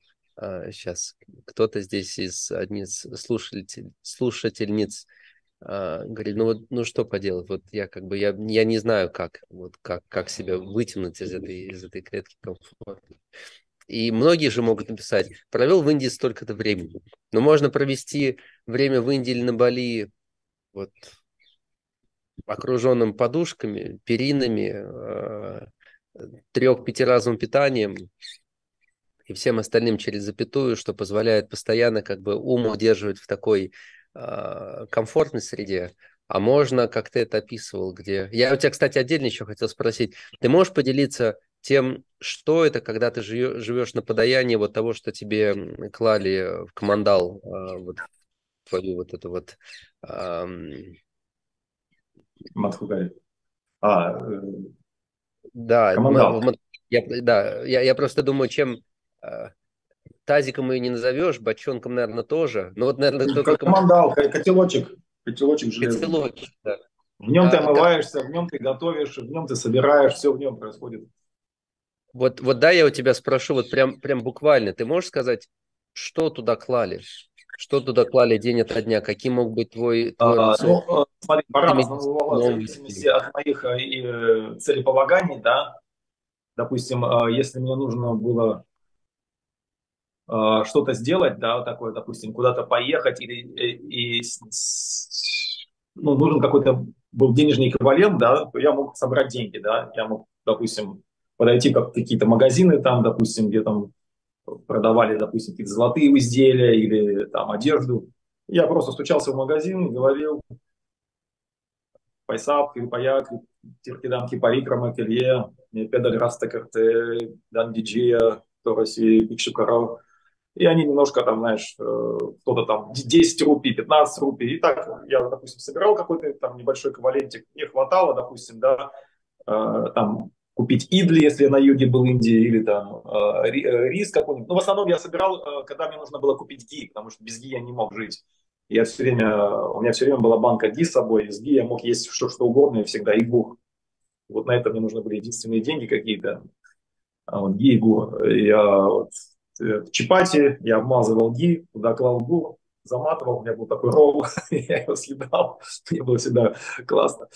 Вот. И, ну, или когда-то, когда я шел в Гималай на длительное время, мне нужно было закупить тоже продукты. Я тоже собирал пожертвования, а, чтобы купить продукты. И потом у меня появилась палатка. Кто-то подарил мне из каких-то паломников да, в Бриндаване. И я уже эту палатку, в принципе, фиксировал в Гималаях и в ней жил. Вот так. Пока они начинались сильные дожди, меня там начинало заливать, и когда еда уже не кончалась. Ну, когда-то я постился, там бывало там ну, недолго. Я не любил сильно поститься, потому что я приверженец философии чисто там, где не сорят, а не там, где убирают. Поэтому я все время придерживался определенной диеты, и в целом мне не нужны были такие крайности какого-то э, резких контрастов постов, таких вот, да, насилия над своим телом. Я делал все, что благоприятно для того, чтобы помнить о Господе, и отрекался от всего, что неблагоприятно. И те условия, которые я попадал, они были естественные. Просто ну, такая окружающая среда была вокруг меня. Потом я уже уехал в Гакарну, и там уже э, более-менее, когда вот я один был из первых русских иностранцев, когда там еще не было электричества, все только начиналось, я сделал небольшое пространство, разжег костер, так сказать, натянул гамаки, и появились какие-то первые русские, которые там начали носить какие-то денежки э, на кичере. Мы начали готовить вместе, я раздавал все это практиковал вместе с ними, и потом постепенно уже оформилось какой-то ашрам, потом я снял пространство на Масте Фарм там, и там залил три площадки йоговских, потом начали ездить туда как раз вот э, Баранов, э, Журавлев начали своими потом. Подожди, подожди, на Масте а? Фарм, мне кажется, я даже знаю. Я, кажется, я... Да, да, да, да, вот и э, на Масте Фарм. Та, та самая? Ты там, был одним... Там а, мы поделили, вначале это было, мы вместе все время это были с... А, вначале э, был я и Серега, мы вместе все это делали, Арут, с Арутом, а потом э, вниз пришел Оливер, немец, и мы поделили это пространство пополам. Оливер немец внизу, а мы наверху. Вот. И с 90, с 2000, наверное, 7 по 12 год, по, по 13 вон там я постоянно проживал, можно сказать. Ну, в Гакарне я постоянно был, а, но вот, вот на Масте Фарм, да, вот в это время как раз появился этот э, интернет, и как он назывался? Контакт. Контакт программа. И мы в этом ВКонтакте э, начали делать посты, что вот у нас есть пространство, приезжайте. И вот русские йоги, уч, первые уч, вот эти учителя, которые там, там Фролов, э, потом этот Баранов, Журавлев, э, ну, которые там преподавали, они, э, Агапкин, они все привозили туда свои группы в то время, вот. И тоже я начинал с ними э, общаться очень глубоко. Они тоже были очень крутые эксперты, которые делились э, своим пространством, э, состоянием вот этого знаний, понимания. И тоже я пропитывался и их пониманием йоги. То есть у меня это все так сложилось, такая целостная мозаика в то время. Вот. И сам я практиковал, тоже преподавал, вел. Потом в 2012 году я уже понял, что... Ага. Хотел, я все время жил же один, все время. Да, прости, немножко задержка идет. Хотел пару слов сказать, потому что... Сейчас, подожди, как это... Не, наверное, я, я просто сейчас подумал, мне, мне нужно как бы сказать что-то об учителях, что такое нелицеприятно. С другой стороны, я не то чтобы не говорю нелицеприятно, просто я могу это констатировать как факт, что э, Сережа Агапкин, он, конечно, он, он дорогой моему сердцу человек. Э, я и к нему, и к Мише Барану, с Ильей Журавлевым, я как раз в плане йоги э, поездил с ними в свое время, но Сережа Агапкин, он, в общем-то, не верит в Бога, ну, да. понимаешь? Это да, да, да. Но я имею в виду, он плане какой-то анатомии, да, каких-то пониманий. Да, да, есть, да. Э, в плане анатомии, биологии. Да, да. Я, просто говорю, как инструкторы, да, люди, которые привозили разные, там и тантрики ко мне приезжали, они снимали просто пространство, э, домики, и я нанял индусов, э, которые готовили очень классно, и в сезон э, приезжал где-то по 30, по 40 групп. В целом было полностью масштабно, мы так много лет принципе, так пульсировали. Потом открыли на Хане Биче еще одну тоже такую точку. Вот. И э, такая была циркуляция людей постоянных. Вот. постоянные мы делали экскурсии. Вот. Ну, потом я тоже почувствовал, что это такая зона комфорта, она немножко тоже меня начала обуславливать. Вот. Я, э, в принципе, уже как-то преисполнился во всем этом, да, мне не стало, вкус потерял. Вот, потому что очень много разных людей, постоянное какое-то внимание. Я думал, надо как-то тоже вот, потихонечку выходить в другой уровень жизни. И э, женился в 2012 году, как раз 12 часов ночи, получается, конец света. Это сколько тебе где-то 38 лет было, да? То, что ты решаешь жениться. Да, да, да, да. Ага. Вот это поворот. Слушай, не, это, это интересно. Это интересно. Помнишь, э, это байка среди йогов про то, как... А, сейчас, как же там было, что были у йогина одни купины, и потом он в какой-то момент подумал, купина это вот эта вот повязка набедренная, которая прикрывает. Мыши ели, да, там потом. И, да, и потом он подумал, вот все-таки неудобно бывает. Ну, нужно, нужно, наверное, вторые. И потом у вторых э, появилась мышь, которая прогрызла дырку. Тогда он подумал, э, слушайте, ну мышь делала такое, нужна, наверное, все-таки кошка. Появилась кошка. Вслед за кошкой нужно было кошку кормить молоком. Так появилась корова. А корову нужно доить, за ней нужно ухаживать. А у меня же Баджан Садана. Так появилась жена. И так Йогин оказался в... Ну, э, я пришел просто к выводу, к пониманию а, да, это очень такая иллюстрирующая красивая история, ну, притча, немножко как раз олицетворяет мой опыт, а, но в целом я пришел к пониманию, что я должен, йога – это равновесие. И если я потеряю свое состояние, соприкасаясь с большими деньгами, да, управлять семьей, да, или там большим бизнесом, и я потеряю свое состояние, э, равновесие, значит, моя йога ничего не стоит. И мне всегда вдохновлял пример Джанаки Махараджа, а, отца Ситы, э, который являлся царем, да, великим таким эм, преданным Махаджаном э, во Вселенной. И он держал в равновесии именно тело, дыхание, внимание и мог управлять таким огромным государством, э, в котором постоянно люди чего-то требовали, хлеба и зрелищ, да, там у него войны шли, здесь какие-то вельможи что-то мутит, что-то происходит постоянно, и все это нужно держать было в равновесии. И у него было большое царство, и однажды один йогин такой засомневался в его э, просветлении и о том, что о нем говорят, и думаю, дай-ка я его проверю, приду к нему в гости. Наверное, Джанаки Махараш придуряется, он просто обычный хоги, который просто ест, пьет и создает иллюзию, что он йогин. Дай-ка я к нему зайду в гости, проверю. И этот йогин пошел к нему в гости, заходит, первые, во вторые ворота. А Джанаки Махарадж, он тонким зрением, своим мистическим, сразу же увидел этого йогина, что он идет к нему. И попросил слуг, ну-ка, схватите его резко под мышки и на голову мешок, и в тюрьму ему. И скажите, что ему отрежете голову, через три дня он будет казнен. Ничего не объяснять. И все это время до, э, до осуществления приговора кормить его самой острой, такой э, соленой пищей. Ничего больше ему не давайте. И думаю, ну, эти слуги такие, Махараджа, что за план такой у тебя? Без суда, без следствия, говорю, делай, как я сказал. Раз Йогин входит, тут его хоп, под белые рученьки сразу, маски шоу, как говорится, мешок на голову, и ввели его э, в камеру, бросили, ничего не объясняет ему, дают ему эту еду такую контрастную, острую, какой-то старый рис еще, весь пересоленный. Три дня прошло, Махарадж говорит, давайте, вызывайте его на паланкин, омойте его маслами, дифирам вы ему пойте, и сюда его, пускай несите его со всеми почестями. Те сразу омыли, посадили его на паланкин, вносят царю его. Тот такой, входит такой, ничего не понимает. Такой, говорит, глазами такими выпученными смотрит на Махараджа, говорит, Джанаки Махарадж, что такое, что происходит? А тут говорит, ну, дорогой, рад тебе очень. Как тебе была моя еда, как мое гостеприимство, как тебе, э, было ли тебе вкусно?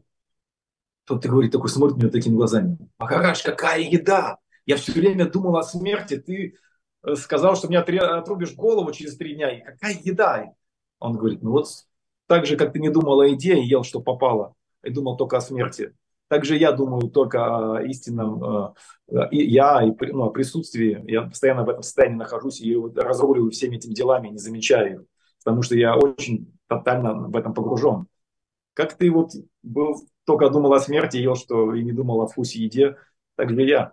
И вот этот пример, да, очень интересный, да, мне захотелось тоже пережить, именно окружить себя каким-то изобилием, да, взять какую-то ответственность, там, заработать хотя 5-6 миллионов долларов, знаешь, чтобы быть в каком-то таком благополучии, ни о чем не думать, начать заняться каким-то строительством, да, расширением полным и и почувствовать, что э, я при этом могу практиковать йогу. В, в этом держать тоже равновесие. Потому что один, одну крайность я прошел, да, какую-то. Сейчас, э, ну, и в то, в то время мне заразился идея, почему бы и нет, э, вот, взять на себя ответственность, иметь жену, ребенка, да. И это тоже истинная йога, которая позволит мне выработать э, великое качество, да. Когда я один, это окей, а когда ты берешь ответственность за другого, да, как раз в такой бескорыстности, в такой в чистой вот карма-йоге, да, полной самодачи. И, возможно, они все вырастут. А как, ну, они, безусловно, все вырастут, все станут самодостаточными, скажут такие, ну все, ты был хорошим папой, мужем, все, мы тебя любили, молодец, держись. Ты такой, оп, и что? Ты всю жизнь отдал ради других, и в конце такой, о, это уже скоро главный экзамен.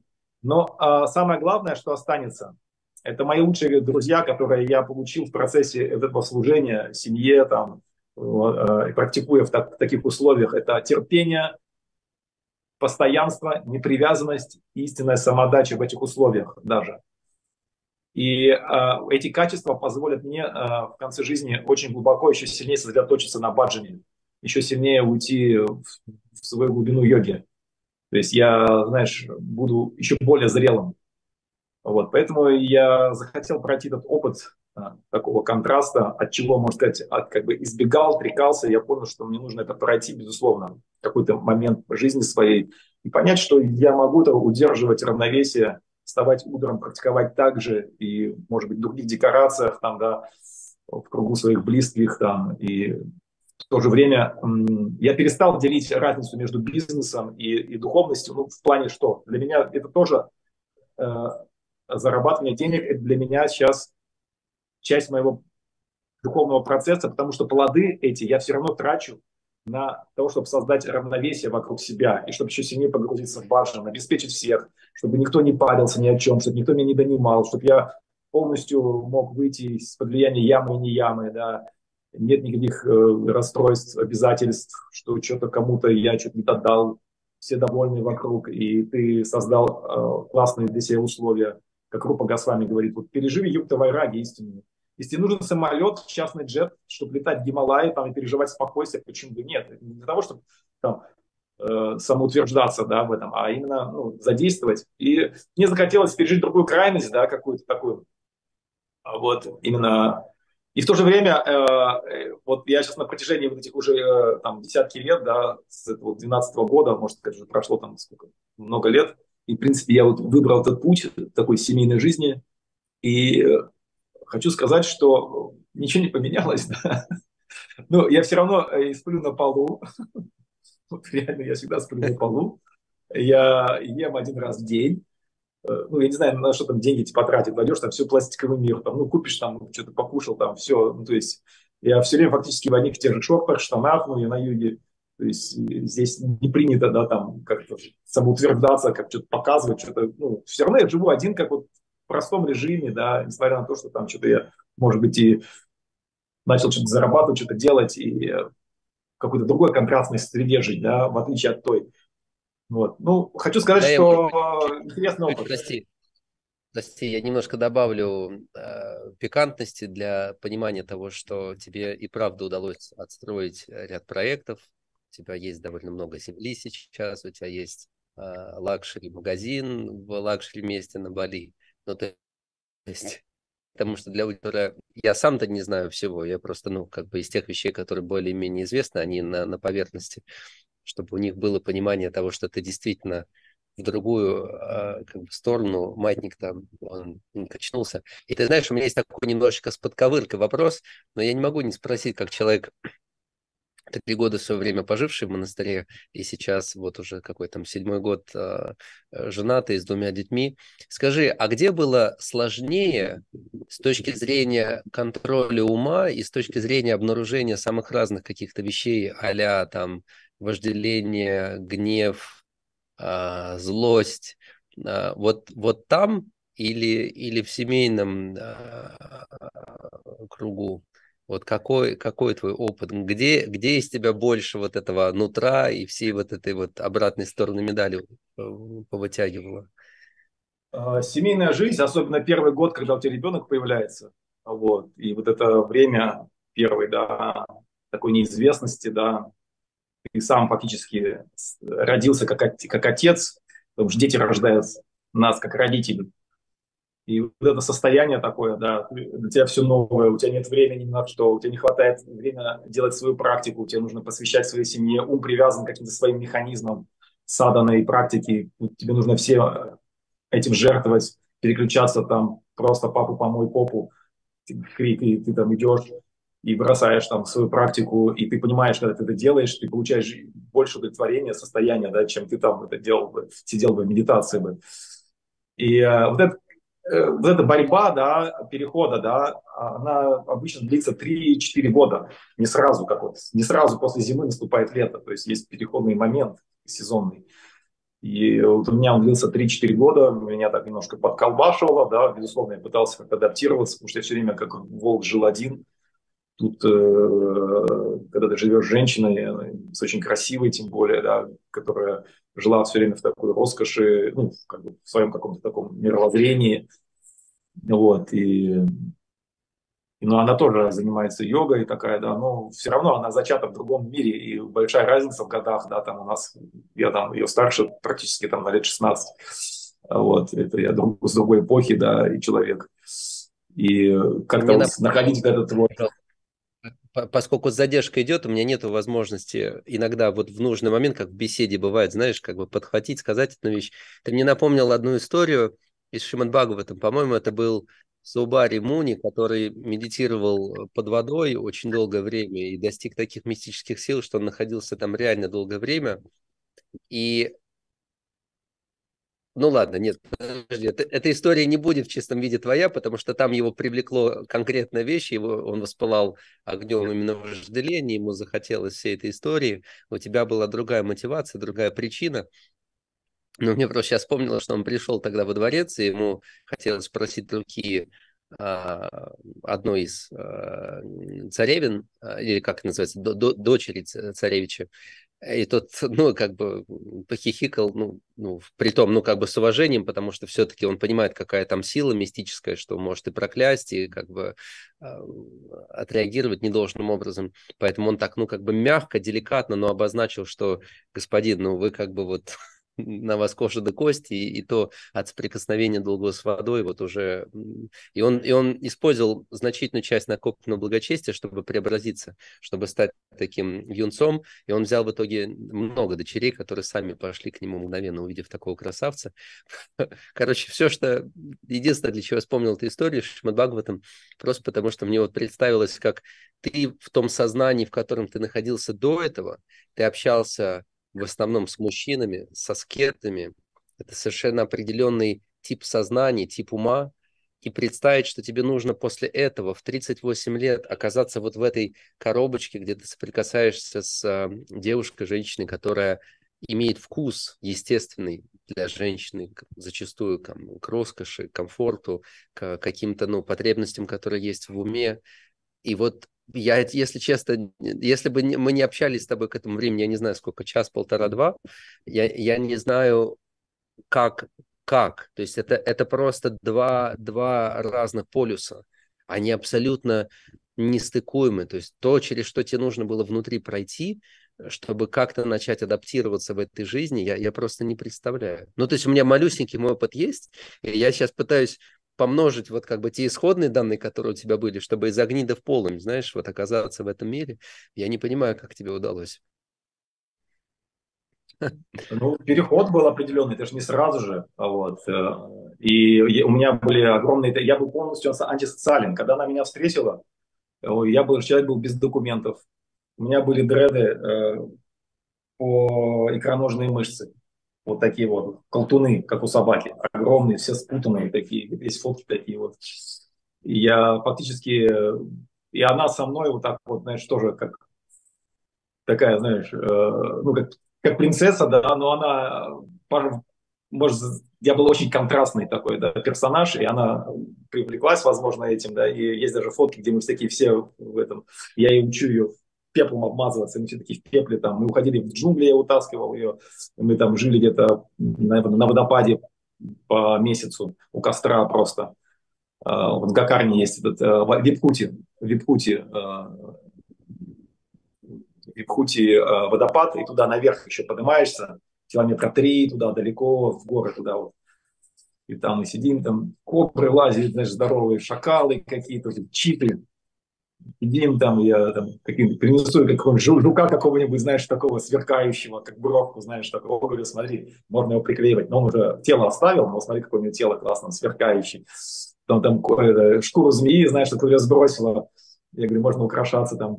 И мы так сидим, знаешь, и, ну, ей, конечно, может быть, все это было в контрасте, потому что ну, она там в Норвегии долго жила, там была такая очень модель такая, да, очень и она тоже от этой жизни такой, да, пластмассовой, тоже была в каком-то перенасыщенности, ей, может быть, привлек мой образ в тот момент.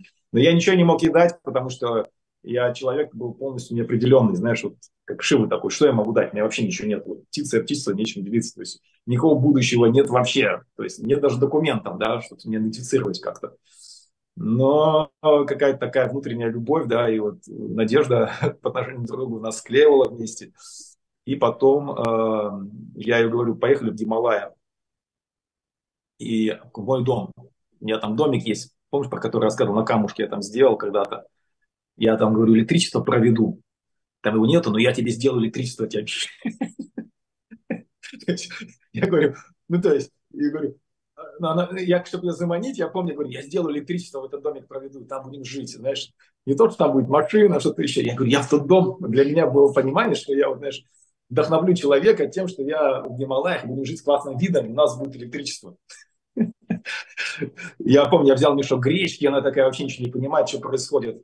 Сырой э, притащил, подсоединился к этому столбу государственному, протянул провод там километра два, знаешь, ну, конечно, без счетчика провел все-таки этот свет. Такой счастливый, говорю, у нас будет миксер. Такой принес миксер, знаешь. Для меня свет в Гималаях это было что-то говорит, даже можно заряжать здесь что-нибудь, компьютер смотреть. Даже, ну, интернет, конечно, нет никогда, но зато можно что-то вот слушать.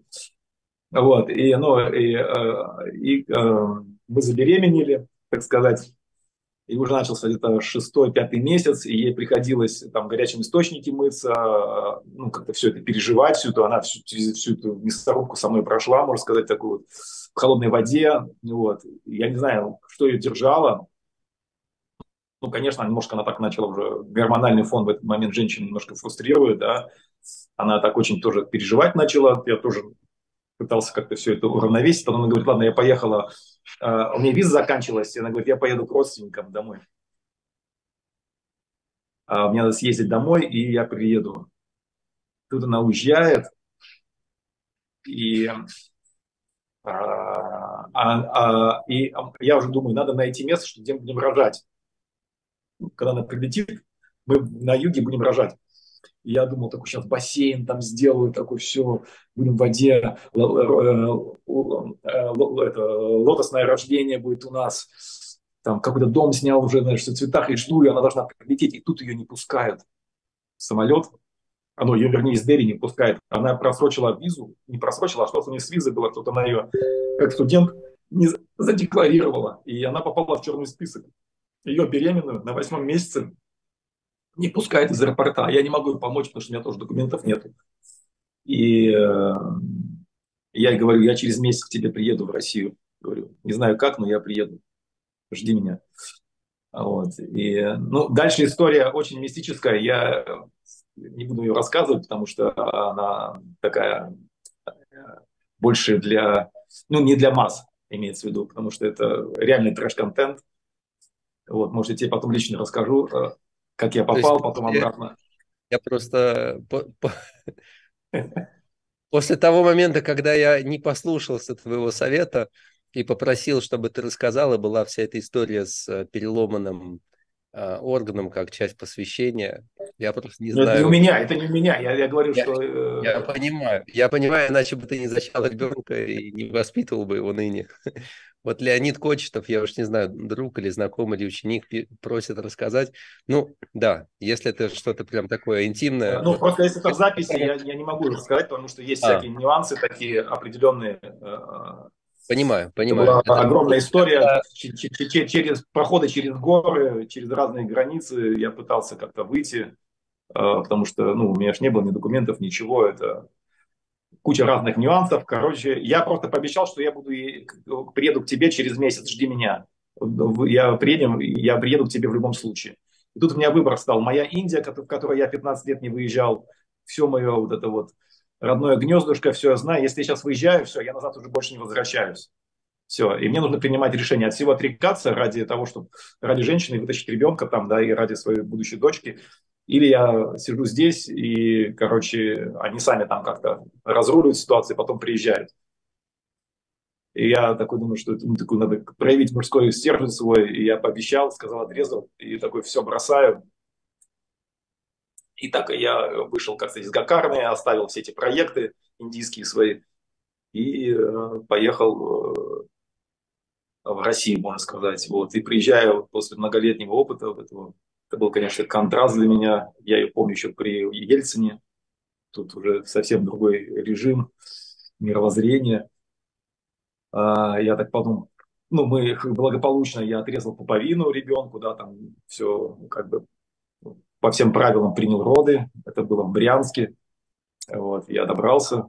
Это была это уникальная история, потому что я действительно расскажу тебе ее потом отдельно. Она очень интересная, и там реально мистика просто, по-другому просто было бы невозможно на такое решиться. Это в стиле такого этого есть персонаж, как же его звали. Он а, книга очень известная есть, и фильм по нему сняли. А, Жил это... в 80-х годах. История Пи или... Не-не-не, в Индии парень жил. 80-х годах. Недавно фильм по нему сняли даже. Mm. Джарам, Джа, Джа, Сайрам, по-моему, или как так. Атмарам? Не, не, не Атмарам, все, как же звали его? Не смотрел. Но, но если Атмарам, я бы не удивился, если в конце... Не, не, не, Атмарам, как, какой-то фильм, как там А, Шантарам, Шантарам. Точно, Шантарам. Это, да. знаешь, это в конце, это в конце была бы песня, это просто был бы сейчас готовый сценарий фильма, когда и потом, и потом сняли фильм от Марам. Это знаешь, когда... И тут как Харунов вспомнил, что он как бы, что это была съемка его собственного фильма и такой... Но Шантарам я увидел уже позже. Я Шантарам вот недавно совсем посмотрел. Э, я, не, я слышал о нем, была толстая книжка какая-то, да, ну и вот сам фильм я увидел позже. Ну и в целом потом я оказался в России, дальше мы уже э, после этого э, поняли, что нужно дальше что-то делать. Вот, и я поехал на Красную Поляну, попытался как-то в России адаптироваться, но понял, что нужно еще столько же лет, чтобы свои мозги переключить э, вот, в российское измерение. Я думал, надо обратно в Индию. В Индию меня не пустили, э, потому что ну, они знали, что я вот там все это время был без этого, без документов. Вот. И мне потом пришлось э, поехать на Бали. Вот. Но потом я все восстановил, конечно, и все в Индию. У меня теперь Только есть возможность сказать, ездить. Очень хороший микс, где есть возможность э, и для отречений, и для роскоши. Они такие очень хорошо бок о бок идут на Бали, оба этих аспекта. Поэтому я даже не удивлен, что в итоге... Слушай, я не могу не поделиться. У меня в моменте здесь тоже много чего происходит. У меня последние, наверное, полчаса уже активно звонит жена, и похоже, что это вот тот случай, когда мне нужно будет остановить то, что приносит мне сейчас огромное удовольствие в сердце. Я уверен, что те, кто несмотря на то, что обычно мы общаемся где-то час, я похоже, что это все перешло какие-то всякие границы, но как здесь можно было остановиться? Я Давай... на самом деле не рассказал главное про йогу, да, да, не сказал. Вот. я чувствую тоже неполноценность, потому что суть э, рассказать про йогу более детально вообще, я тут просто про себя рассказываю. Но ты сам меня на это вынуждаешь. Я, вот. я тебя на это вынуждаю, потому что я стараюсь во время эфиров э, э, гостям не позволить спрятаться за своими проектами, за своим служением, потому что все равно мы делаем этот шаг в веру и в общение с Богом, ну, когда мы общаемся с конкретным человеком через него как личность.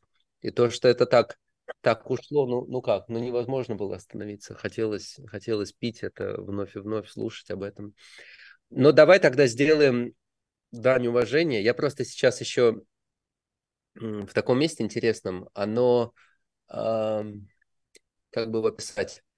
А, здесь, здесь 12 колонн, оно по кругу такое, знаешь, поле не то для занятий йогой, не то для киртана, может быть. Там есть э, очень красивое изображение, очень э, изваяние, божество, э, неподалеку позади от меня Гавардхан. И вот я сейчас посмотрел на него, просто давай шаг такой, фаст-трек. И вот, и вот каким-то образом через все эти жизненные перипетии, которые у тебя были, через все эти события и самые разные уроки, и все совершенно дивные волшебные истории, которыми ты сегодня поделился, чем это было для тебя в рамках твоих отношений с Богом? Как тебе удалось в моменте, когда столько вокруг было мистиков, йогинов, которые поклонялись имперсональному аспекту Бога? Они не признавали личностные формы. Причем более того, в середине эфира или в начале ты сказал, с чего я буду ограничивать Бога? Ровно этот аргумент, они говорят про то, когда мы упоминаем, что у Бога есть форма. Они говорят, с чего вы ограничиваете Бога какой-то одной формой? Ты точно так же говоришь, да нет, с чего вы ограничиваете Бога тем, что приписываете ему только какой-то образ облака без имени, без форм, без качеств? Нет, есть HTDF, он является в разных формах, он доступен, можно снимать, вступать с ним в взаимоотношения как с личностью. В общем, где все это время был для тебя Бог? А, насколько тебе удало, удавалось удерживать его а, в центре? Насколько удается сейчас? Была ли на самом деле по факту вот эта разница между тем, когда ты а, жил или, может быть, живешь ну, в таких куда более роскошных условиях, там на вилле, на Бали, имея свои какие-то возможности для того, чтобы использовать материальную энергию, в том числе в служении людям и Богу, и тем, когда это было там. Вот насколько тебе удавалось Богу удерживать на первом месте? А, давай прям, вот, прям прыгнем сейчас туда и хотя бы немножко времени еще посвятим этому. Ну, я скажу, что Махамая – это великая гуру Деви, которая постоянно тебя испытывает и дает тебе разные обстоятельства, чтобы заточить твою преданность, проверить тебя, насколько ты помнишь об истине. И а, создается контраст постоянно. Как только я возомнил о себе, да, что-то, что я там чего-то достиг, самоутвердился, и не, не дай бог там, э, я себе придумал, что я там Шива уже, что я там осознал, и тогда сама Махамая проявленная такая, ты Шива, ты что-то понял, ты безграничная я, я сейчас тебе устрою, давай потанцуем со мной, ты мой муж, у меня только муж один Шива, ты тоже хочешь? Он говорит, давай, я посмотрю, держишь ты вот сейчас. Э, так, через параматму, раз жена, ну-ка скажи-ка ему что-нибудь. Сразу поменялось что-то, э, или, или какое-то обстоятельство, или что-то еще, и такой раз, сердце такое, оп, и такой, а, все-таки реагирую на что-то, вот.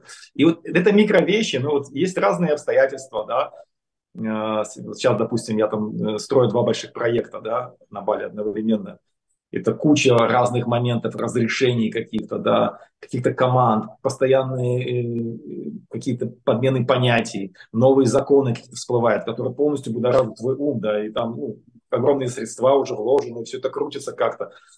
И вот на фоне вот этого контраста, да, безусловно, появляется какой-то вызов, да, и ты это все сразу же трансформируешь.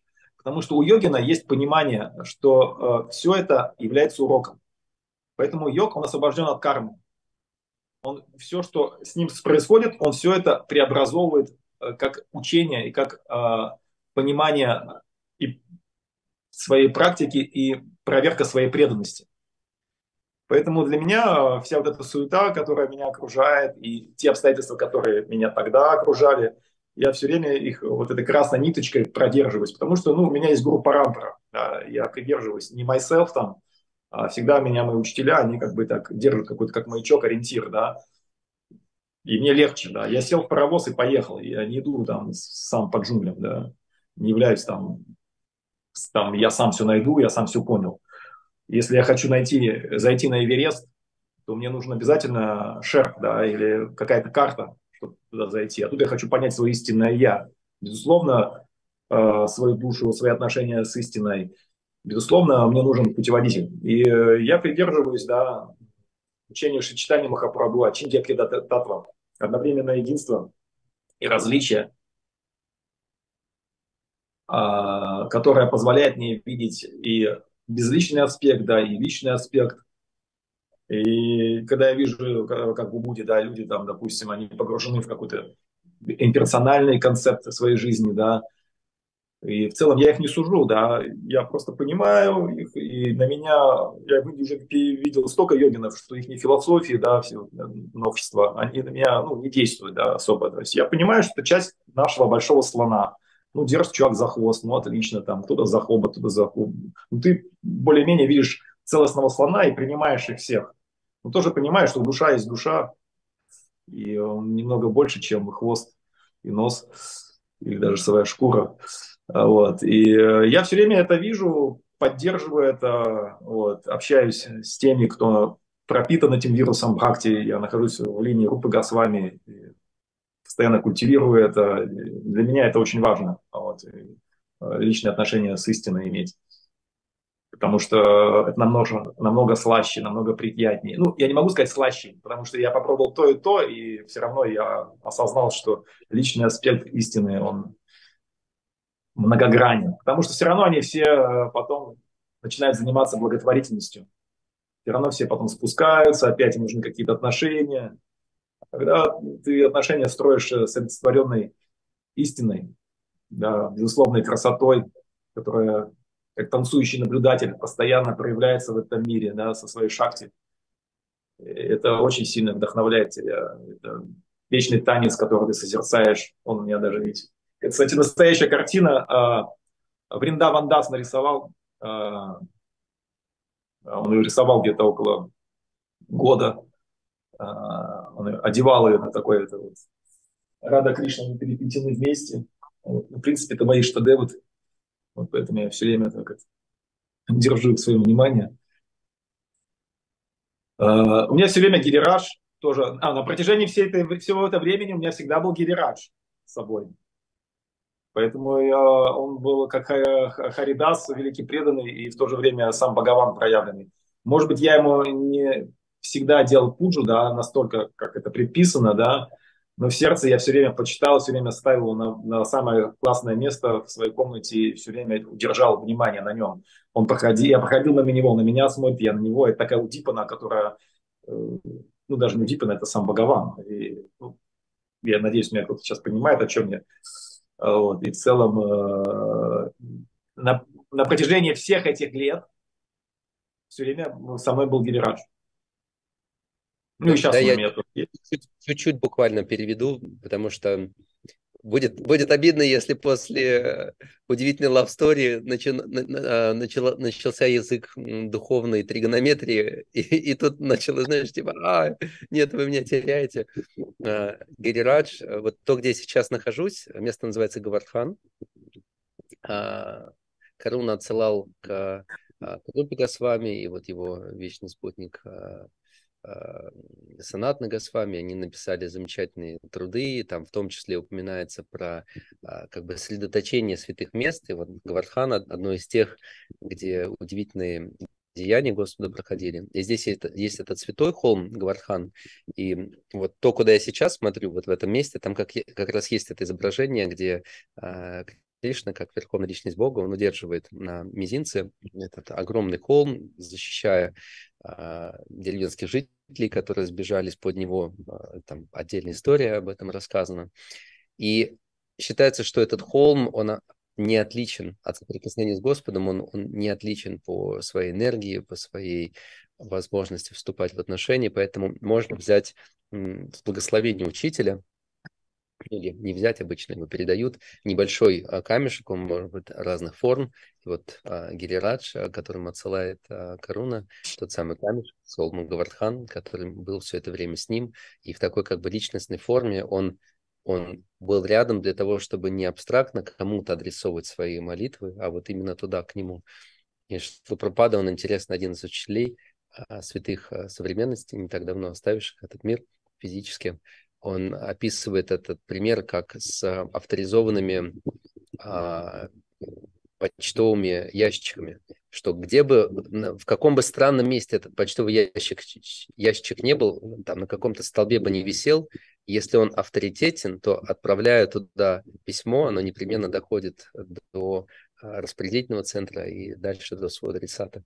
И то же самое здесь. То есть поскольку это как бы узаконено самим, самим Господом, такой процесс личностного взаимоотношения с своим преданным, с йогом, с тем, кто поклоняется ему, то он может в разных формах проявиться специально для того, чтобы у йога была возможность очень четко направлять свою молитву, очень четко выстраивать свои отношения, и постепенно он, а, это, эта форма становится, ну, как бы живой для него на уровне сердца. Вот про те микровещи, о которых сейчас сказал Каруна, он начинает видеть синхронизацию а, мыслей, отлика того, как все те уроки, которые к нему приходят, что эти уроки несут для него. То есть это прям становится реальной такой школой жизни, где вот в этих личностных отношениях проявляется все то лучшее, что мы ищем в конечном итоге любовь, которую мы все хотим испытывать.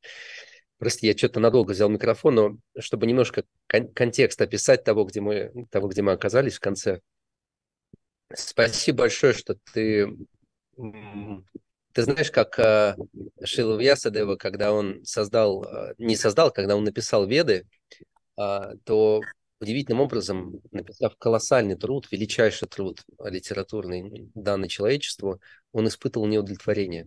И когда его учитель проходил мимо, как раз вот рядом с тобой Инна все это время была, этот а, инструмент такой музыкальный, а, и пролетал, а, хорошо, для простоты восприятия, проходил мимо Народа Муни, и он говорит, ты что? А, значит, а, несчастен, ну, как бы немножечко так с подковыркой, а тот описал все. И, и арту, а, как в этом мире наслаждаться, и перед этим дхарму, да, как следовать своей роли, своему предназначению, и как результат этого получать вот какие-то ресурсы, блага, а, и даже а, мокшу и отречение, э, но, но все равно вот у него не было этого полного удовлетворения. И тогда проявился он подсказал ему, что ты не сделал главного, ты, ты не прославил вот эту божественную читу и того изначального верховного бога, который корона позади на этом изображении.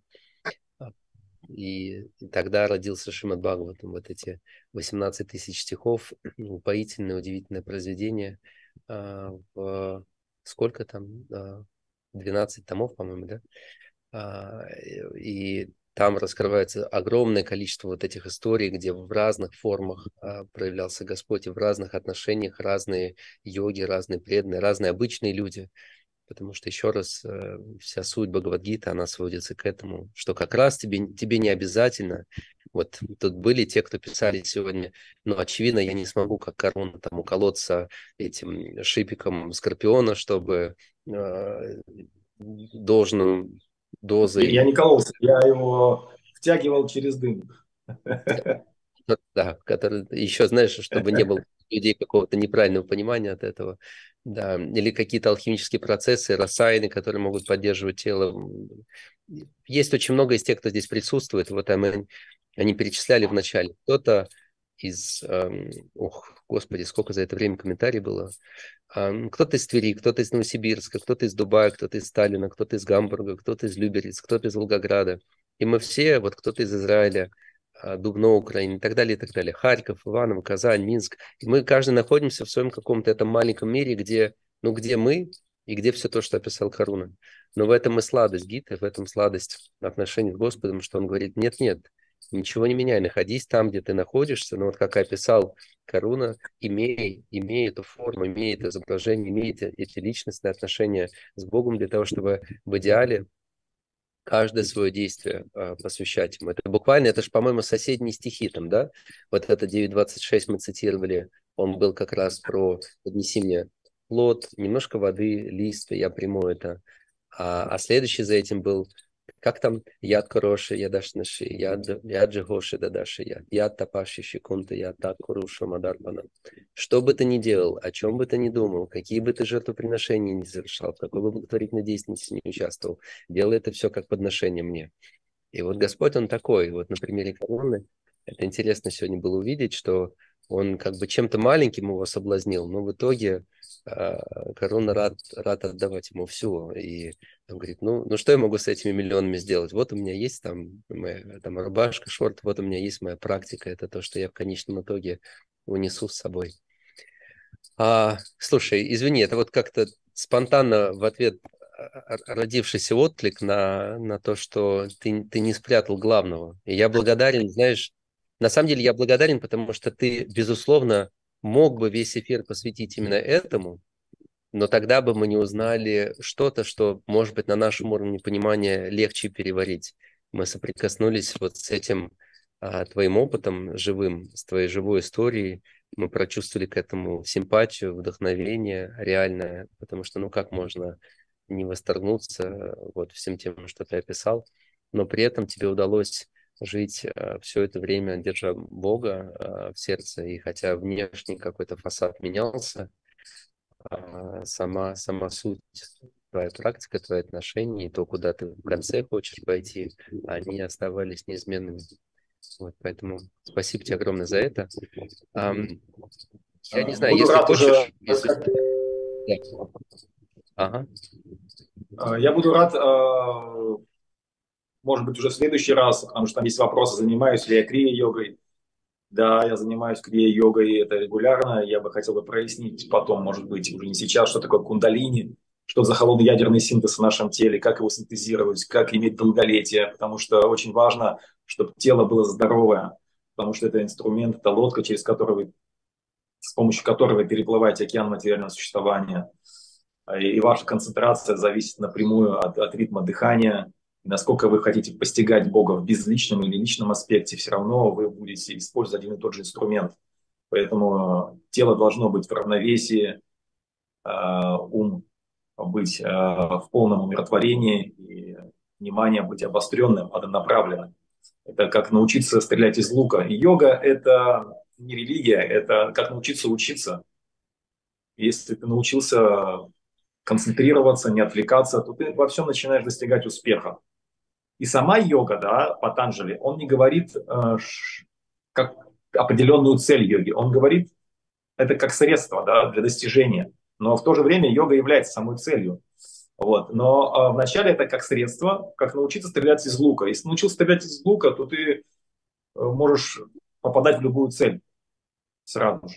Если научился концентрироваться, да, твое тело здоровое, дыхание умиротворенное, внимание однонаправленное, это очень хорошие возможности как трамплин для того, чтобы погрузиться по-настоящему, даже, может быть, в какую-то камамичра бхакти, если кто-то преследует там здоровье или какие-то там э, в этом мире какие-то лимбические ценности, да, ну, я имею в виду, ценности лимбической системы головного мозга, там самоутвердиться, там побольше еды, размножиться. Тоже даже йога в этом может им помочь.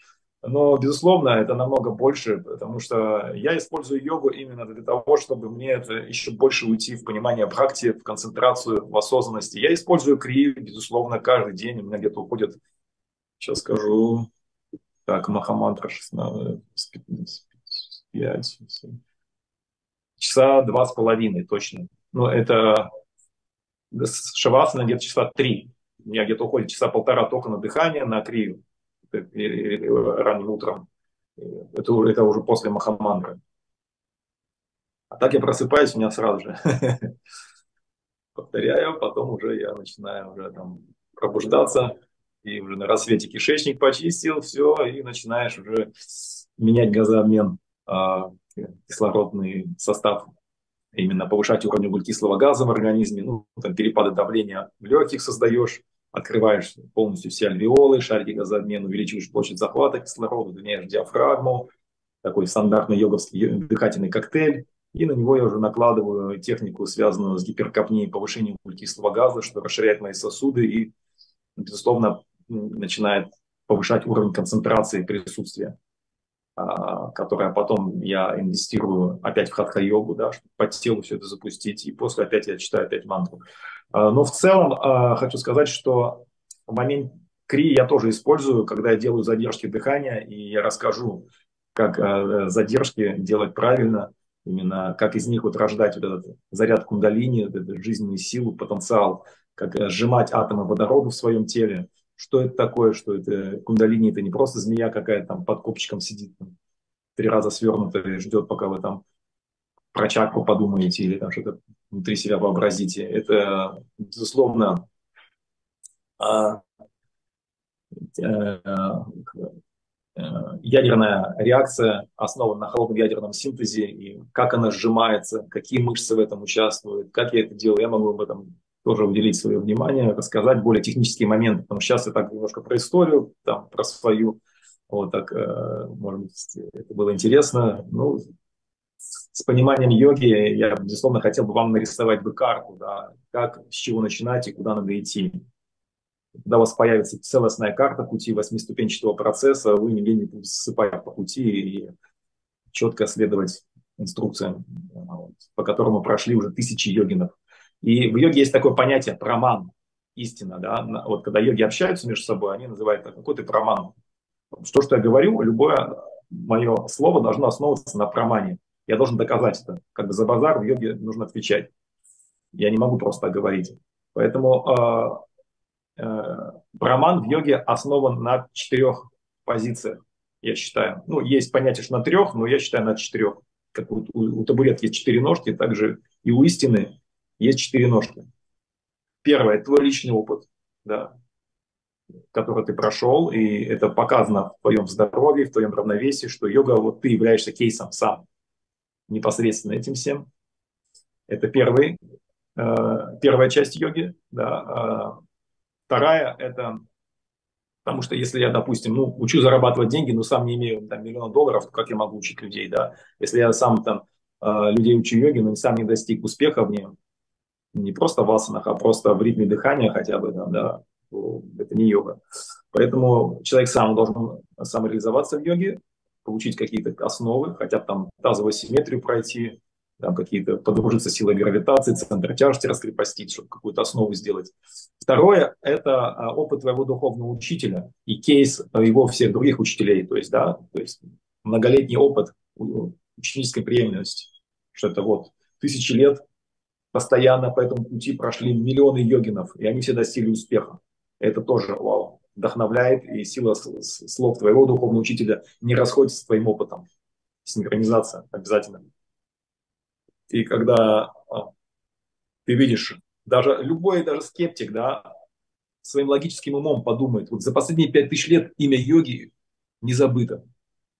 Много разных измов, каких-то всяких религий, концепции ушли и, и, и, и ушли, пришли и ушли в непроявленное. А имя йоги до сих пор осталось, потому что санскрит, он как блокчейн, его нельзя подменить. Это целостная система, размноженная везде. И э, по этому пути очень много прошло. И вот третий проман – это священное писание, что это должно обязательно быть в священном писании тоже. Твой личный опыт должен иллюстрироваться священными писаниями и опытом твоих учителей. И четвертое – это научные э, современные исследования медицины, там, метафизики. Вот. И когда они вместе все совпадают, это называется параман. То есть, когда, то есть это вот на то, на что можно опереться в этом мире болота, иллюзий разных э, псевдофилософий, каких-то там ну, всяких каких-то высказываний, да, теорий. Вот, вот эти, э, когда вам кто-то что-то говорит, ищите в этом проман четырех вот этих вот позиций. Имеет ли человек, его учитель, основанное ли это в священных писаниях и современные исследования, как об этом говорят. Вот, и это праман йоги. И вот одна, а, моя йога, то, что я буду делиться, она будет основана на прамане. На этом. Поэтому я думаю, уже на следующей встрече я расскажу подробности. Я понимаю, что сейчас уже не так много времени. Рона, давай знаешь, как сделаем?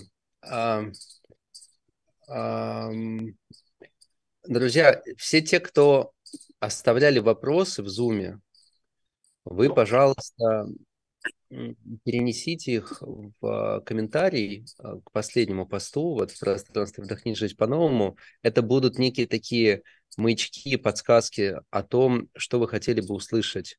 А, у Коруны есть замечательный канал а, от Марама Йога, где он может вот именно вот этот как бы йогический аспект пути, каких-то техник и тех вещей, которые он сейчас в конце перечислял, хотя сейчас он просто объяснял сам, сам путь а, того, как человек знающий или говорящий то, чему он должен подтверждать свои слова. Это как бы об этом. Но вот то, что касалось каких-то техник дыхательных, там, а, речи, кумхака, да, любые виды а, манипуляции с телом, не знаю, активизации жизненной силы кундалини, вот все, все, все, все, все, вот это вот, что нужно услышать от человека, который не застрял в этом, не помешался на этом, а сохранил и понимает как бы истинную цель того, куда приедет, это как техники для того, чтобы поддерживать тело, ну вот сколько мы там, 50 сейчас или чуть больше, как бы глядя на него становится понятно, что если только там по карме не положено оставить э, тело скоро, то он еще много лет сможет таким образом послужить всем вам своим знаниям. Поэтому можно а, туда, на канал к нему от Марама Йога пойти, и вот эти вопросы, которые вы напишите в комментарии, они позволят сформировать а, вот эту тему следующего эфира – и если хочешь, я могу тебе помочь раскрыть какие-то здесь вопросы. Можем провести это уже у тебя в пространстве, а, более глубоко уйдя в йогическую часть. А со своей стороны я могу тебя лишь благодарить, потому что мы несколько раз прервались, я, я не знаю, сколько времени мы с тобой были в этом живом общении, но вот не будь сейчас садящегося телефона на солнце э, и, и жены, которая тоже садится, которой тоже нужна подзарядка, то мне нужно прям э, бежать туда, помочь ей с детьми.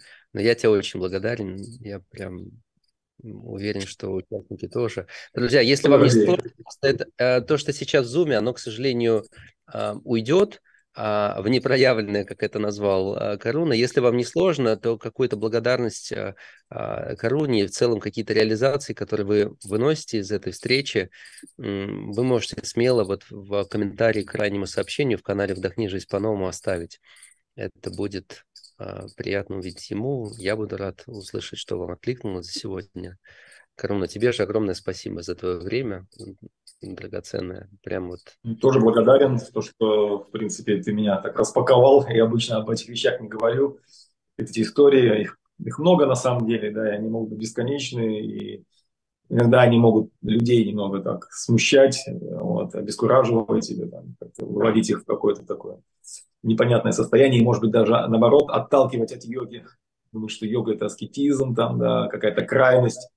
Вот. Но как есть, вот я рассказал о своем каком-то опыте, безусловно, это невозможно дважды войти в воду, кому-то так подражать, исследовать, потому что это был опыт того времени, когда немножко цивилизация была другая. Вот. Поэтому буду рад а, более детально о биомеханике йоги, если интересно, там, о восьмиступенчатом процессе, как я это направляю на практике, задержках дыхания, там, о том, как йога работает вообще в теле, что это постоянный контакт с тремя силами, которые присутствуют в настоящем моменте. Это сила гравитации, сила атмосферного давления и сила внимания. Одно касается тела, другая разума, а третья души. И вот как это все взаимокомпенсировать, я буду рад поделиться, привести в равновесие. Когда настроен, мы в настрое. Когда тело, разум и дух вместе настроен. И когда я настраиваю, это означает, я встраиваю троих. В этом есть суть йоги, держать равновесие во всех сферах бытия, в изобилии, где бы ты ни был бы. Руна, я чувствую, что мы можем это продолжать еще часа три, как минимум. Да, я понял, да, это бесконечный поток. Все, благодарю вас. Рады, Нет, рады, он, он, так, и я, и, я, и я не хочу совершать это преступление, потому чтобы его прекращать, поэтому мы его не прекращаем. Мы просто отдаем дань должному своим обязанностям, которые у нас есть еще в этом мире, и обязательно вернемся к этому. В каком формате мы обязательно проявим это, или вот в канале «Вдохни жизнь по-новому», или на канале «Коруна». Как сказал э, Читание Махапрабху, чем больше разлука, тем приятнее встречи. Поэтому... Сто процентов. Уходим в разлуку сейчас и ждем встречи. Спасибо всем, кто был с нами. Счастливо.